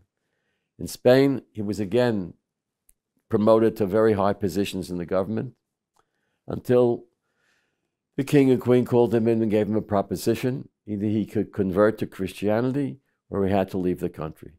So he left the country. And he went from place to place, from exile to exile. There's one biography that I have in, in, in English language that I have in my hand here. It was written by a man, B. Netanyahu, but this is not Bibi Netanyahu, the current prime minister of the state of Israel. Rather, it is his father, whose first name began with a B, and who was the son of Rabbi Nathan, hence the name Netanyahu. Can't give you a complete, detailed biography of him. But I can say that this book is a very comprehensive one and is divided into two sections. Part two is Barbanel because of his intellectual achievements, his world outlook, his view of history, his political opinions, and his messianism, his reflections on the entire idea of Mashiach. But part one is simply an outline of his biography. I'm not going to read you the book, just the, in the table of contact, contents, the, the main points of his life. He, the, the Netanyahu writes, he was a financier and a statesman. Portugal for him was a happy haven, family, childhood, early literary efforts in the service of the king, fall and escape. He escaped from Portugal to Spain. Spain, land of persecution. On the Portuguese border, the Catholic kings, advancement at court, the great crisis. That's a quick summary of Spain. So he fled. And he fled to various places in and around Italy. So chapter three is Naples, scene of trouble. On Italy's threshold, a Neapolitan court, courtier, he was in the court of the king of Naples, in Sicilian exile. He was in Sicily in exile. He visited the island of Corfu in the middle of the Mediterranean, where he discovered one of his own books that he had written, the only extant, the only existing volume of that book on earth was in the Isle of Corfu when he happened to find it there in his stay there. And he went to a place called Monopoli, and that was his shelter in the storm, where he completed many of his works. From there, he went to Venice, the last refuge. And in Venice, it was a new rise to prominence. He again became prominent in the government of Venice. Venice then was a city state. It was not more than a city. It was, it was more than a city. It was, it was kind of a little mini government. Again, new rise to prominence, the final efforts. Interestingly enough, and so typical, when Abarbanel is often referred to as the Abarbanel, Rabbi Yitzchak Abarbanel, when he passed away, the government of Venice, which had honored him in his lifetime, refused to bury him because we do not bury Jews in Venice. So his entire life was this victimized hero, this person who accomplished so much politically, secularly, and also so very much in terms of his contribution to Jewish literature, especially to biblical explanations, to biblical perushim. Barbanel is unbelievable. I'm studying for some time now. Someone on a regular basis, a regular Seder we have by telephone one day a week. we decided we're going to study the Barbanel on Bereshis. So, so far, you know where we're up to? We've done this for about a year now. Bereshis, we studied, the word Bereshis, Bara, the word Bara, and Elokim, the word God. Bereshis Bara Elokim, that's as far as we got. We didn't even finish the first pasuk yet. He's so thorough, so comprehensive, so brilliant, dazzling. Just in, uh, and that, those three words, commentary on those three words of themselves, about 20 pages. That's the man who they refused to bury him in Venice. He was buried in some nearby uh, uh, suburb of, of Venice, where his grave is to this very day. This is just a taste, a, a one kina, yes, by an anonymous author or unknown author, and one individual who represents the entire tragedy of the Jewish people. You know, success, failure, success, failure, home, refuge, refugee, terrible. That's the life of the Abarbanel. That's the brief story and brief kina on the expulsion of the Jews from Spain. I have here in my hand, in a sense, it's a favorite work of mine by a very fascinating person. It's a little pamphlet entitled Haharuga Alecha, the person who is victimized, tortured, and killed in your name, in God's name. It was written by the author of the Nesivos Shalom. And the Nesivos Shalom was the Slonim Rebbe, the Hasidic Rebbe from Slonim. And he, during the uh, Holocaust years, was in Eretz Israel, in the land of Israel. He was called upon then, the Jews began to know what was happening in Europe, what was happening in the Holocaust, knowing about the millions and millions of people who were being killed, butchered, murdered, drowned, burned, etc. And he gave various talks during this period and the immediate aftermath of the Holocaust.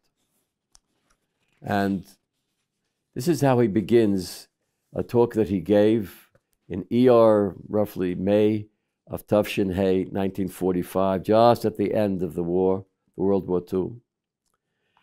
He writes, Acharei shehigiyu hayediyos al hachurban hagadol. We've now begun to discover all the news of this terrible, terrible destruction. And he's speaking to an audience and he tells them, Hiskanasnu gam yachad b'sha'a ayuma v'chashecha b'yoser. We have gathered together here at this frightful and dark, very dark moment. Acharei. It's after what has happened to the Jewish people. Lo. What has occurred to us now is 1945 is the most tragic and frightful event that has no comparison. Millionim millions of our brothers. Hatovim sheba'am, the best of our people, the best of our nation. Nitbechu, have been slaughtered. V'nisrifu chayim, and burned alive. B'tzurot kol kach in such a cruel manner. Niskayamnu banu nevuas Daniel, what has been fulfilled here is the prophecy of Daniel. This will be the most memorable, the most tragic event in Jewish history.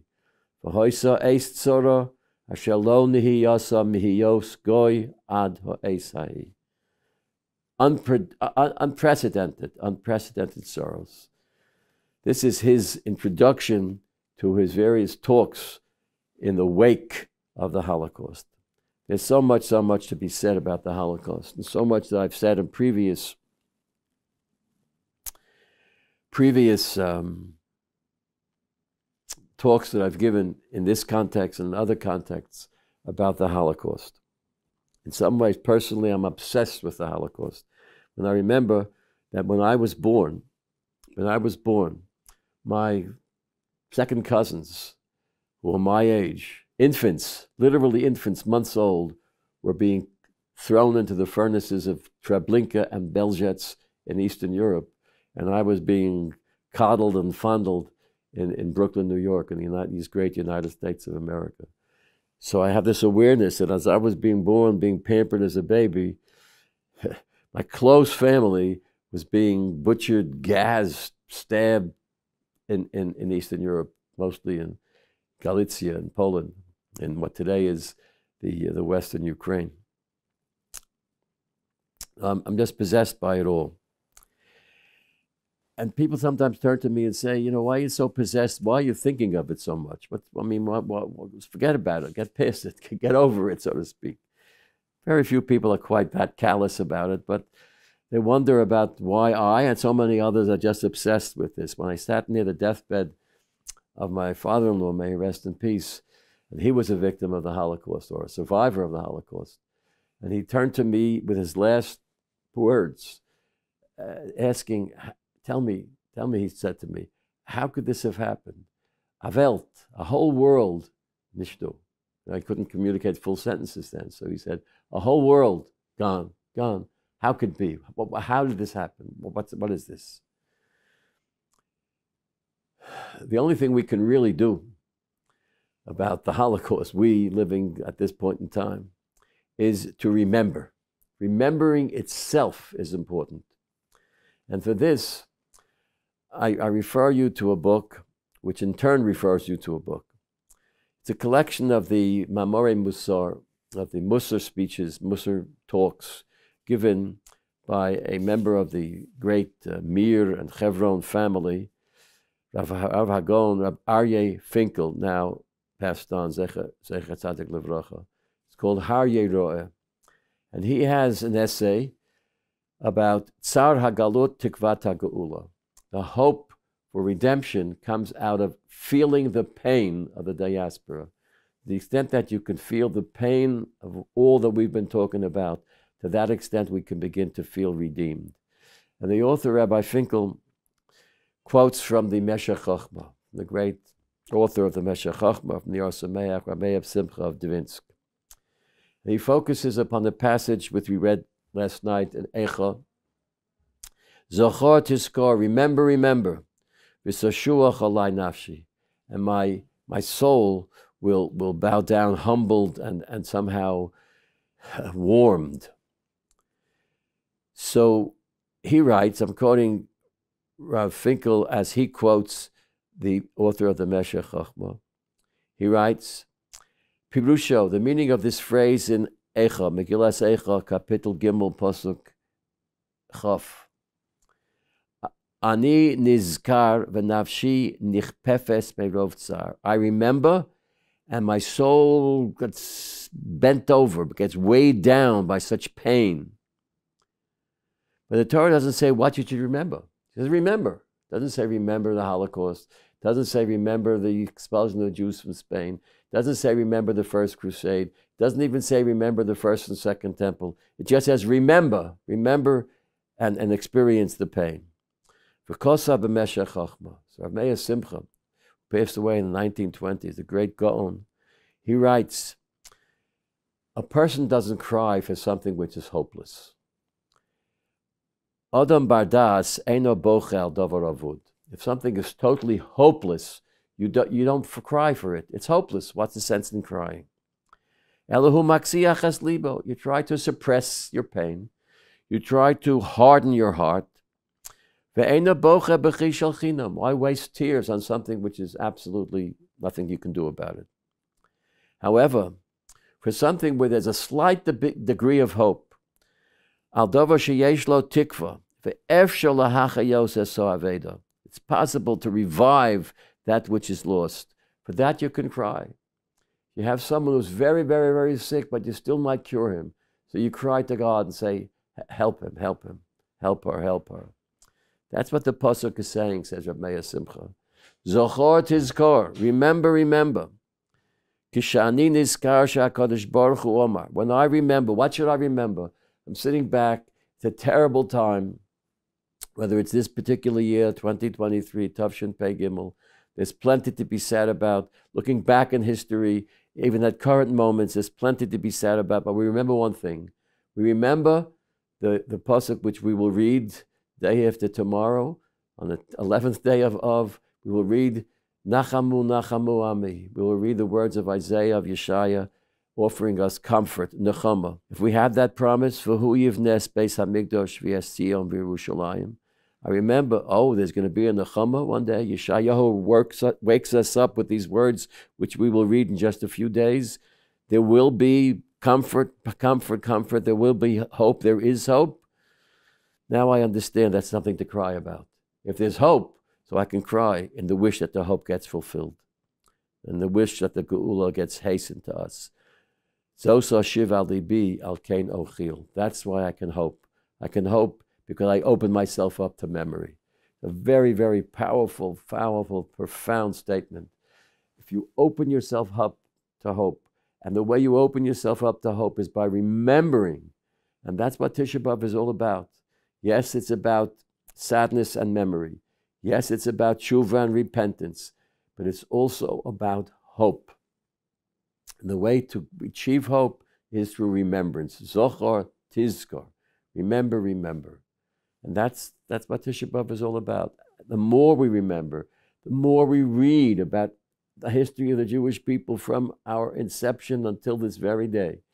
The more that we read on all the events from the Churban Beis Hamikdash Rishon and Sheni, all the way through the Holocaust and all the way down to the Sbarro bombing, which killed so many people and, and ruined the life of a, of, of, a, of a baby, and right down to today, the extent to which we remember and remember and we open ourselves up to Ashrei Odom Mefache Tamid. Remember the words of Mishlei quoted by Rabbi Yochanan. Always remember, and you remember and be, think of the consequences, because one consequence of that remembering is hope.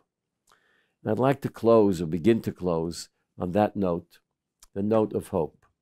But first, let's remember a little bit about the Holocaust. Just a little bit. There's so much to remember, so much to remember. I have in my possession many, many books. I've been trying to give some away to family and to friends.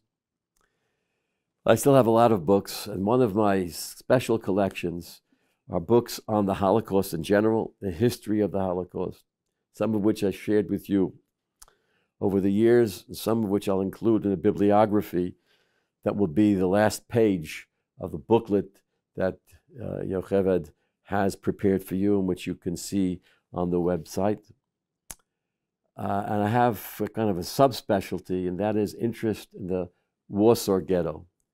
There are many books about the experience of the Warsaw Ghetto, and one is this scroll of agony with a picture of a person half starved in the Warsaw Ghetto in the early 1940s. And it's called Scroll of Agony, it's a translation, but it's the Warsaw Diary of Chaim Kaplan. Chaim Kaplan was an individual, not very famous one, but an individual, obviously a good writer, who recorded day by day his experiences in the, in the Warsaw Ghetto and some of the things that he has to say. And he writes at something that happened on December 1st, 1939, very early days of the Warsaw Ghetto. He writes,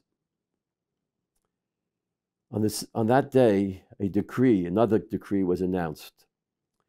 Beginning December 1, 1939, every Jewish shop and business must indicate its Jewish ownership.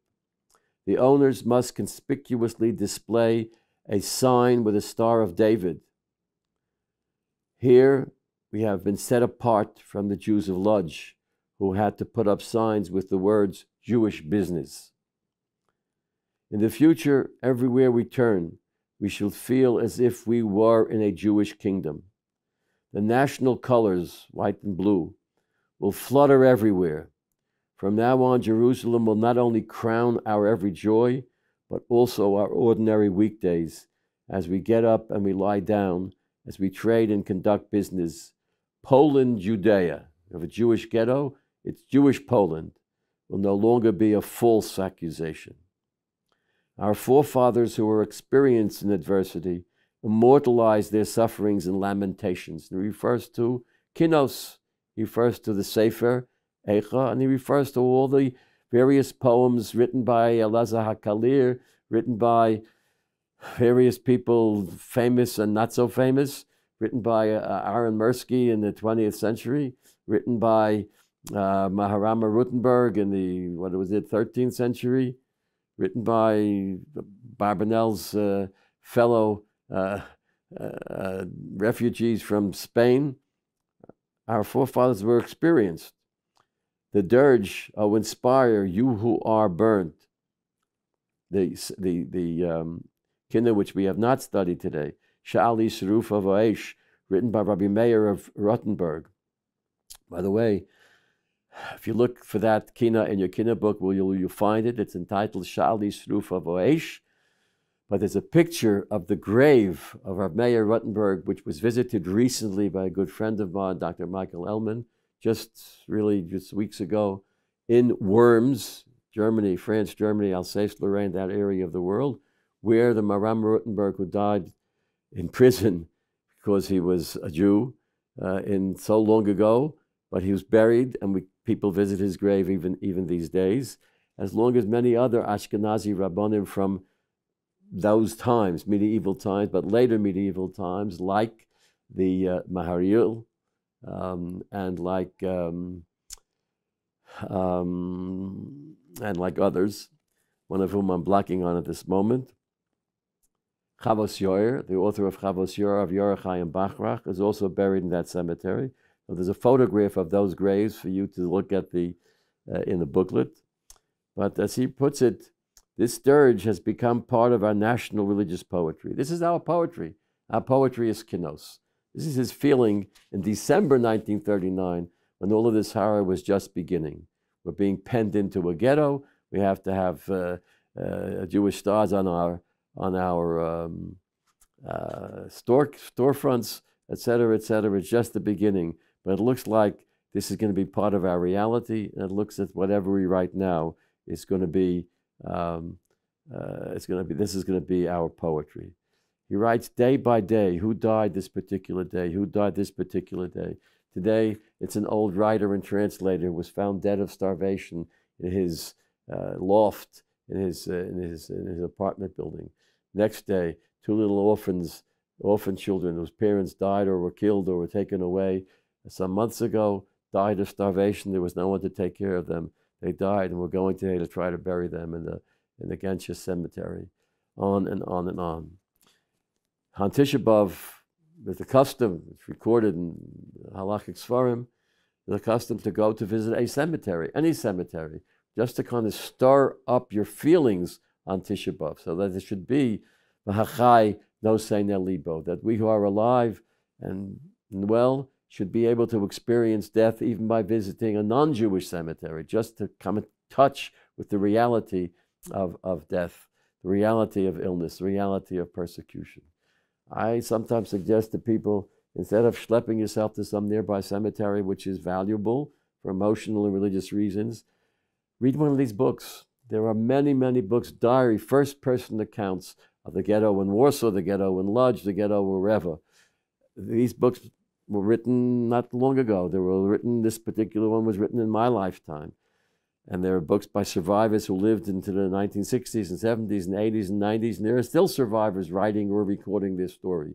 We listen to the story, read their stories. Zohar to score, remember, remember, and you will come to experience hope. I'd like to move toward a closing and close with words and songs of hope. I have in my hand a small book by a very special person who passed away not very long ago, but within recent years. And his name was Rabbi Maurice Lamm, L A M M. He was the brother. It's not fair often to praise and describe a person because they had a great brother. You know, you're okay, but this nice brother is really great. Well, this man, uh, Rabbi Maurice Lamm's brother, was Rabbi Dr. Norman Lamm, the president of Yeshiva University and the great writer, Talmid Chacham, author, etc., whom we eulogized a couple of years ago, who was eulogized by his own son on this webcast. Maurice Lamb, the younger brother, was a man who had very many difficulties in his life, physical illness, etc. But he wrote many books. He wrote the book on, on uh, death and mourning and from a halachic perspective. And he wrote a little book called The Power of Hope. The Power of Hope. And he gives many, many interesting bits of advice for a person who is seeking to build his or her powers of being hopeful, of hoping. For example, he gives us a page in the book. It's on title of the book is The Power of Hope. I'm sure you can get it online or in your local bookstore. On page 52, he has a couple of pieces of advice for conquering the fear of hope. He begins, keep this list near you at all times. Keep this list near you at all times. You might tack it to the bulletin board, those of you who have bulletin boards, or tuck it into a corner of your mirror. Take it to heart. Do as it says. This is a man who lived a difficult life but remained hopeful, as I can testify, throughout his life. Do as it says. It can move you in the right direction. Number one, I am the hero of my own life story. I will behave like one. All right? You've got to be yourself. You've got to realize that you are important. It's not arrogance, it's not gaiva, it's not false pride to think of yourself as your own hero. You are the hero of your life story, number one. Number two, I won't dwell upon the past. The past is over. On Tisha B'Av, you can dwell upon the past. Think about the past. Remember the past, as we just saw the pasuk in Eicha and the explanation of of the uh, Meshech Chochmah. But Rabbi Dr. Maurice Lamm is telling us don't dwell upon the past. Next, I will be the one, the only one in charge of my future. I've got to do what I've got to do. I will be patient. Nothing happens all at once, but not be passive. Patience is not the same as passivity. You do what you can. Rabbi Lord Jonathan Sacks, Zecher Tzadik Levracha, whom I knew well personally, distinguishes in one of his books between pessimism and hope. He says pessimism is the feeling that everything will be all right, it will be well. Hope is the belief that I can make things right, I can do things, I can accomplish something, I can solve problems, I can resolve issues. Hope comes with the not only with the belief, with the feeling that it will be good, but it's with a commitment to making things better. That's hope. I will trust in a higher power, it's the God above, to help me along the way, and I will trust in myself. These are words of a wise man and, and worth taking to heart. It's become my custom over the course of doing these various presentations to end on the note of a song. And I want to convey to you the teaching of a great man, happened to have been my, my wife's, Chavi's grandfather, of Shol Yedidya Loza Taub, the Modzitzer Rebbe, the second Modzitzer Rebbe who passed away in 1947. One of his themes is the importance of song. That was what him and the Hasidus he led believed in. Song, song, song, even in difficult moments. Habocher b'shirei zimra. We believe in the God who has chosen song, shira v'zimra. That's the royal road to connect to God. That's one of the teachings of this type of Hasidus. And that was our grandfather's teaching. One of the things he points out is we learned in Parshas Beshalach and the Shiras Hayam, the Jews are crossing the, the sea. And they cross the sea victoriously. And, and the enemy is under the water, done for. And we are alive and well. So we sing a song, Az Yashir Moshe.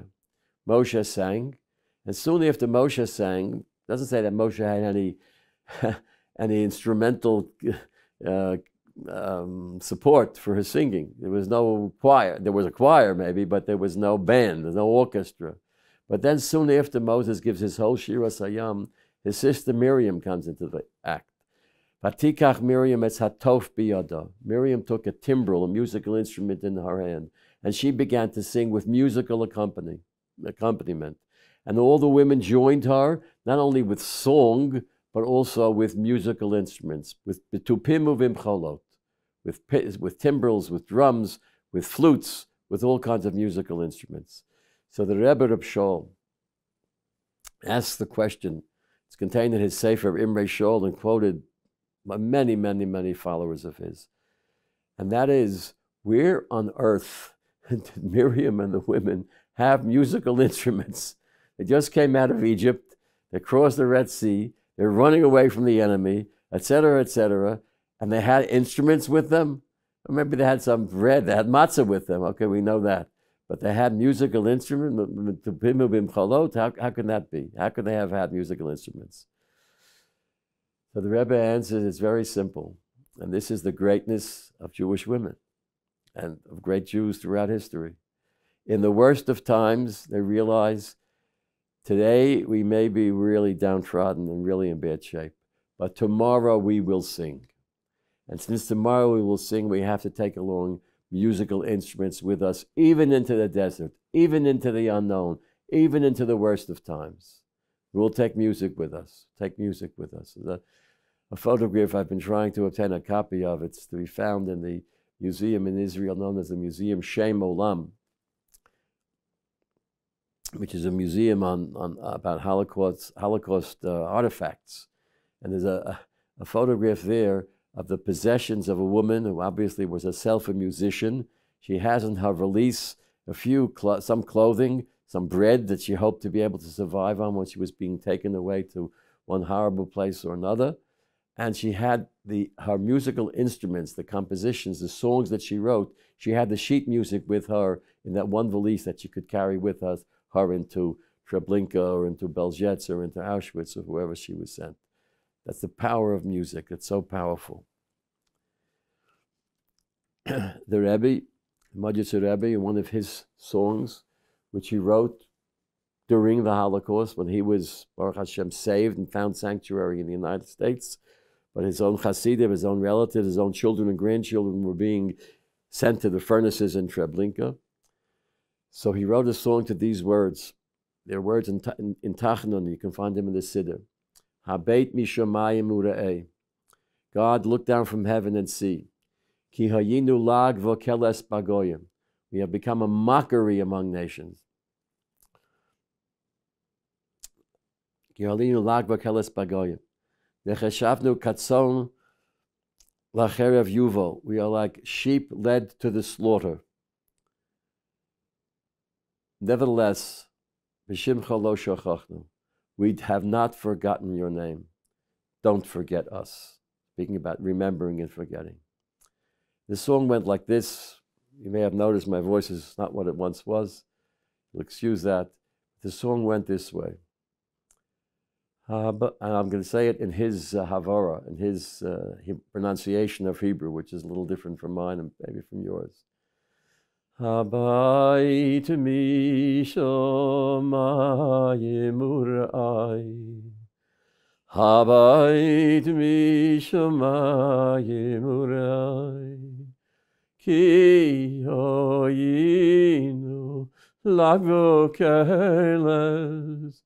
lagu keles bagoyu nechshavnu katzoin la tevach yuvo.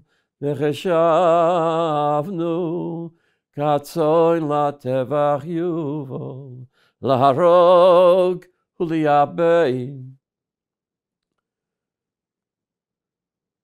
Ulemako ulemako uliabein. Ulemako, oy ulecherpo. V'cheshavnu.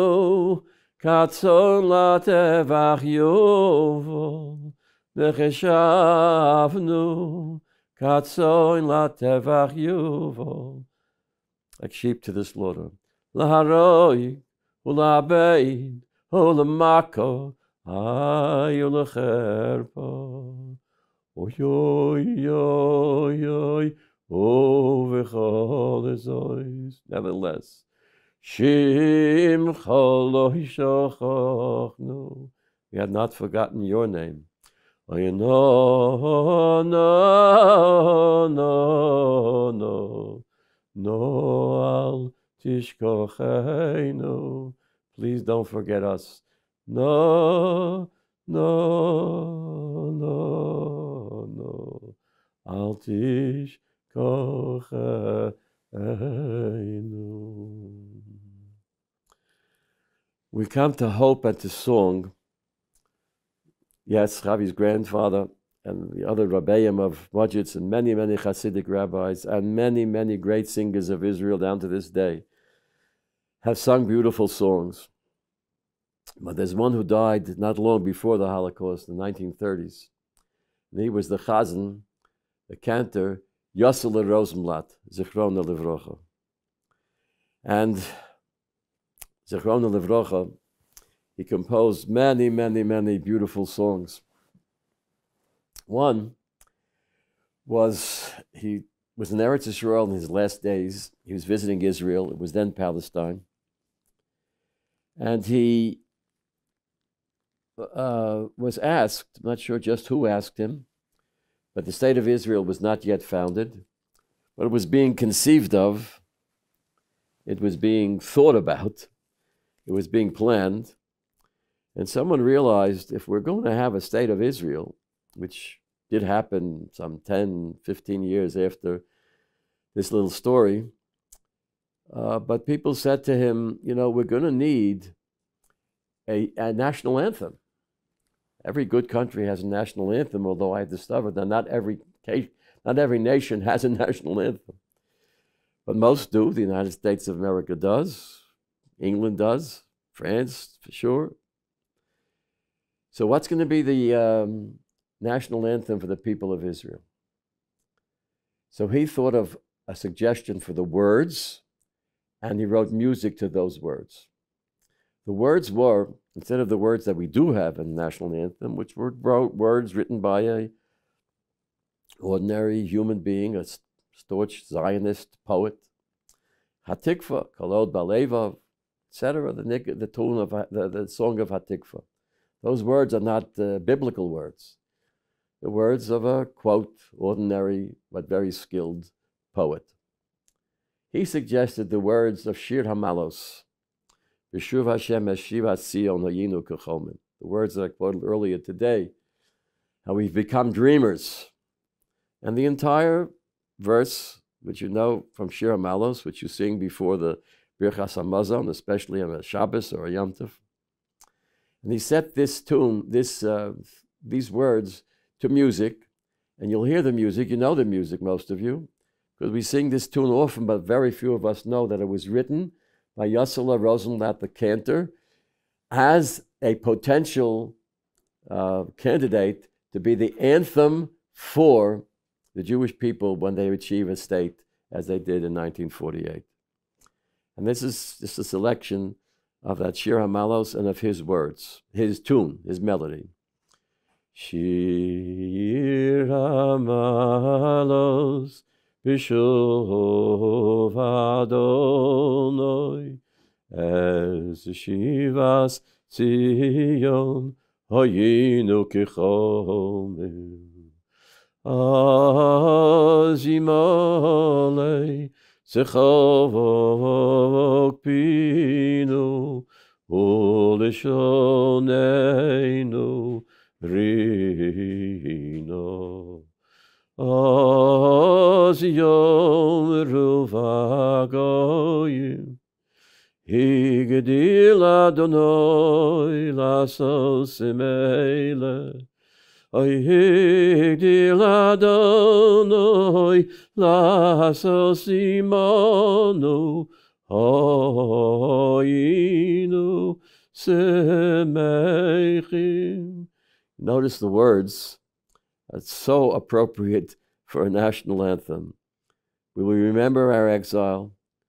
Then we will laugh with a full, full laugh. Then we will sing.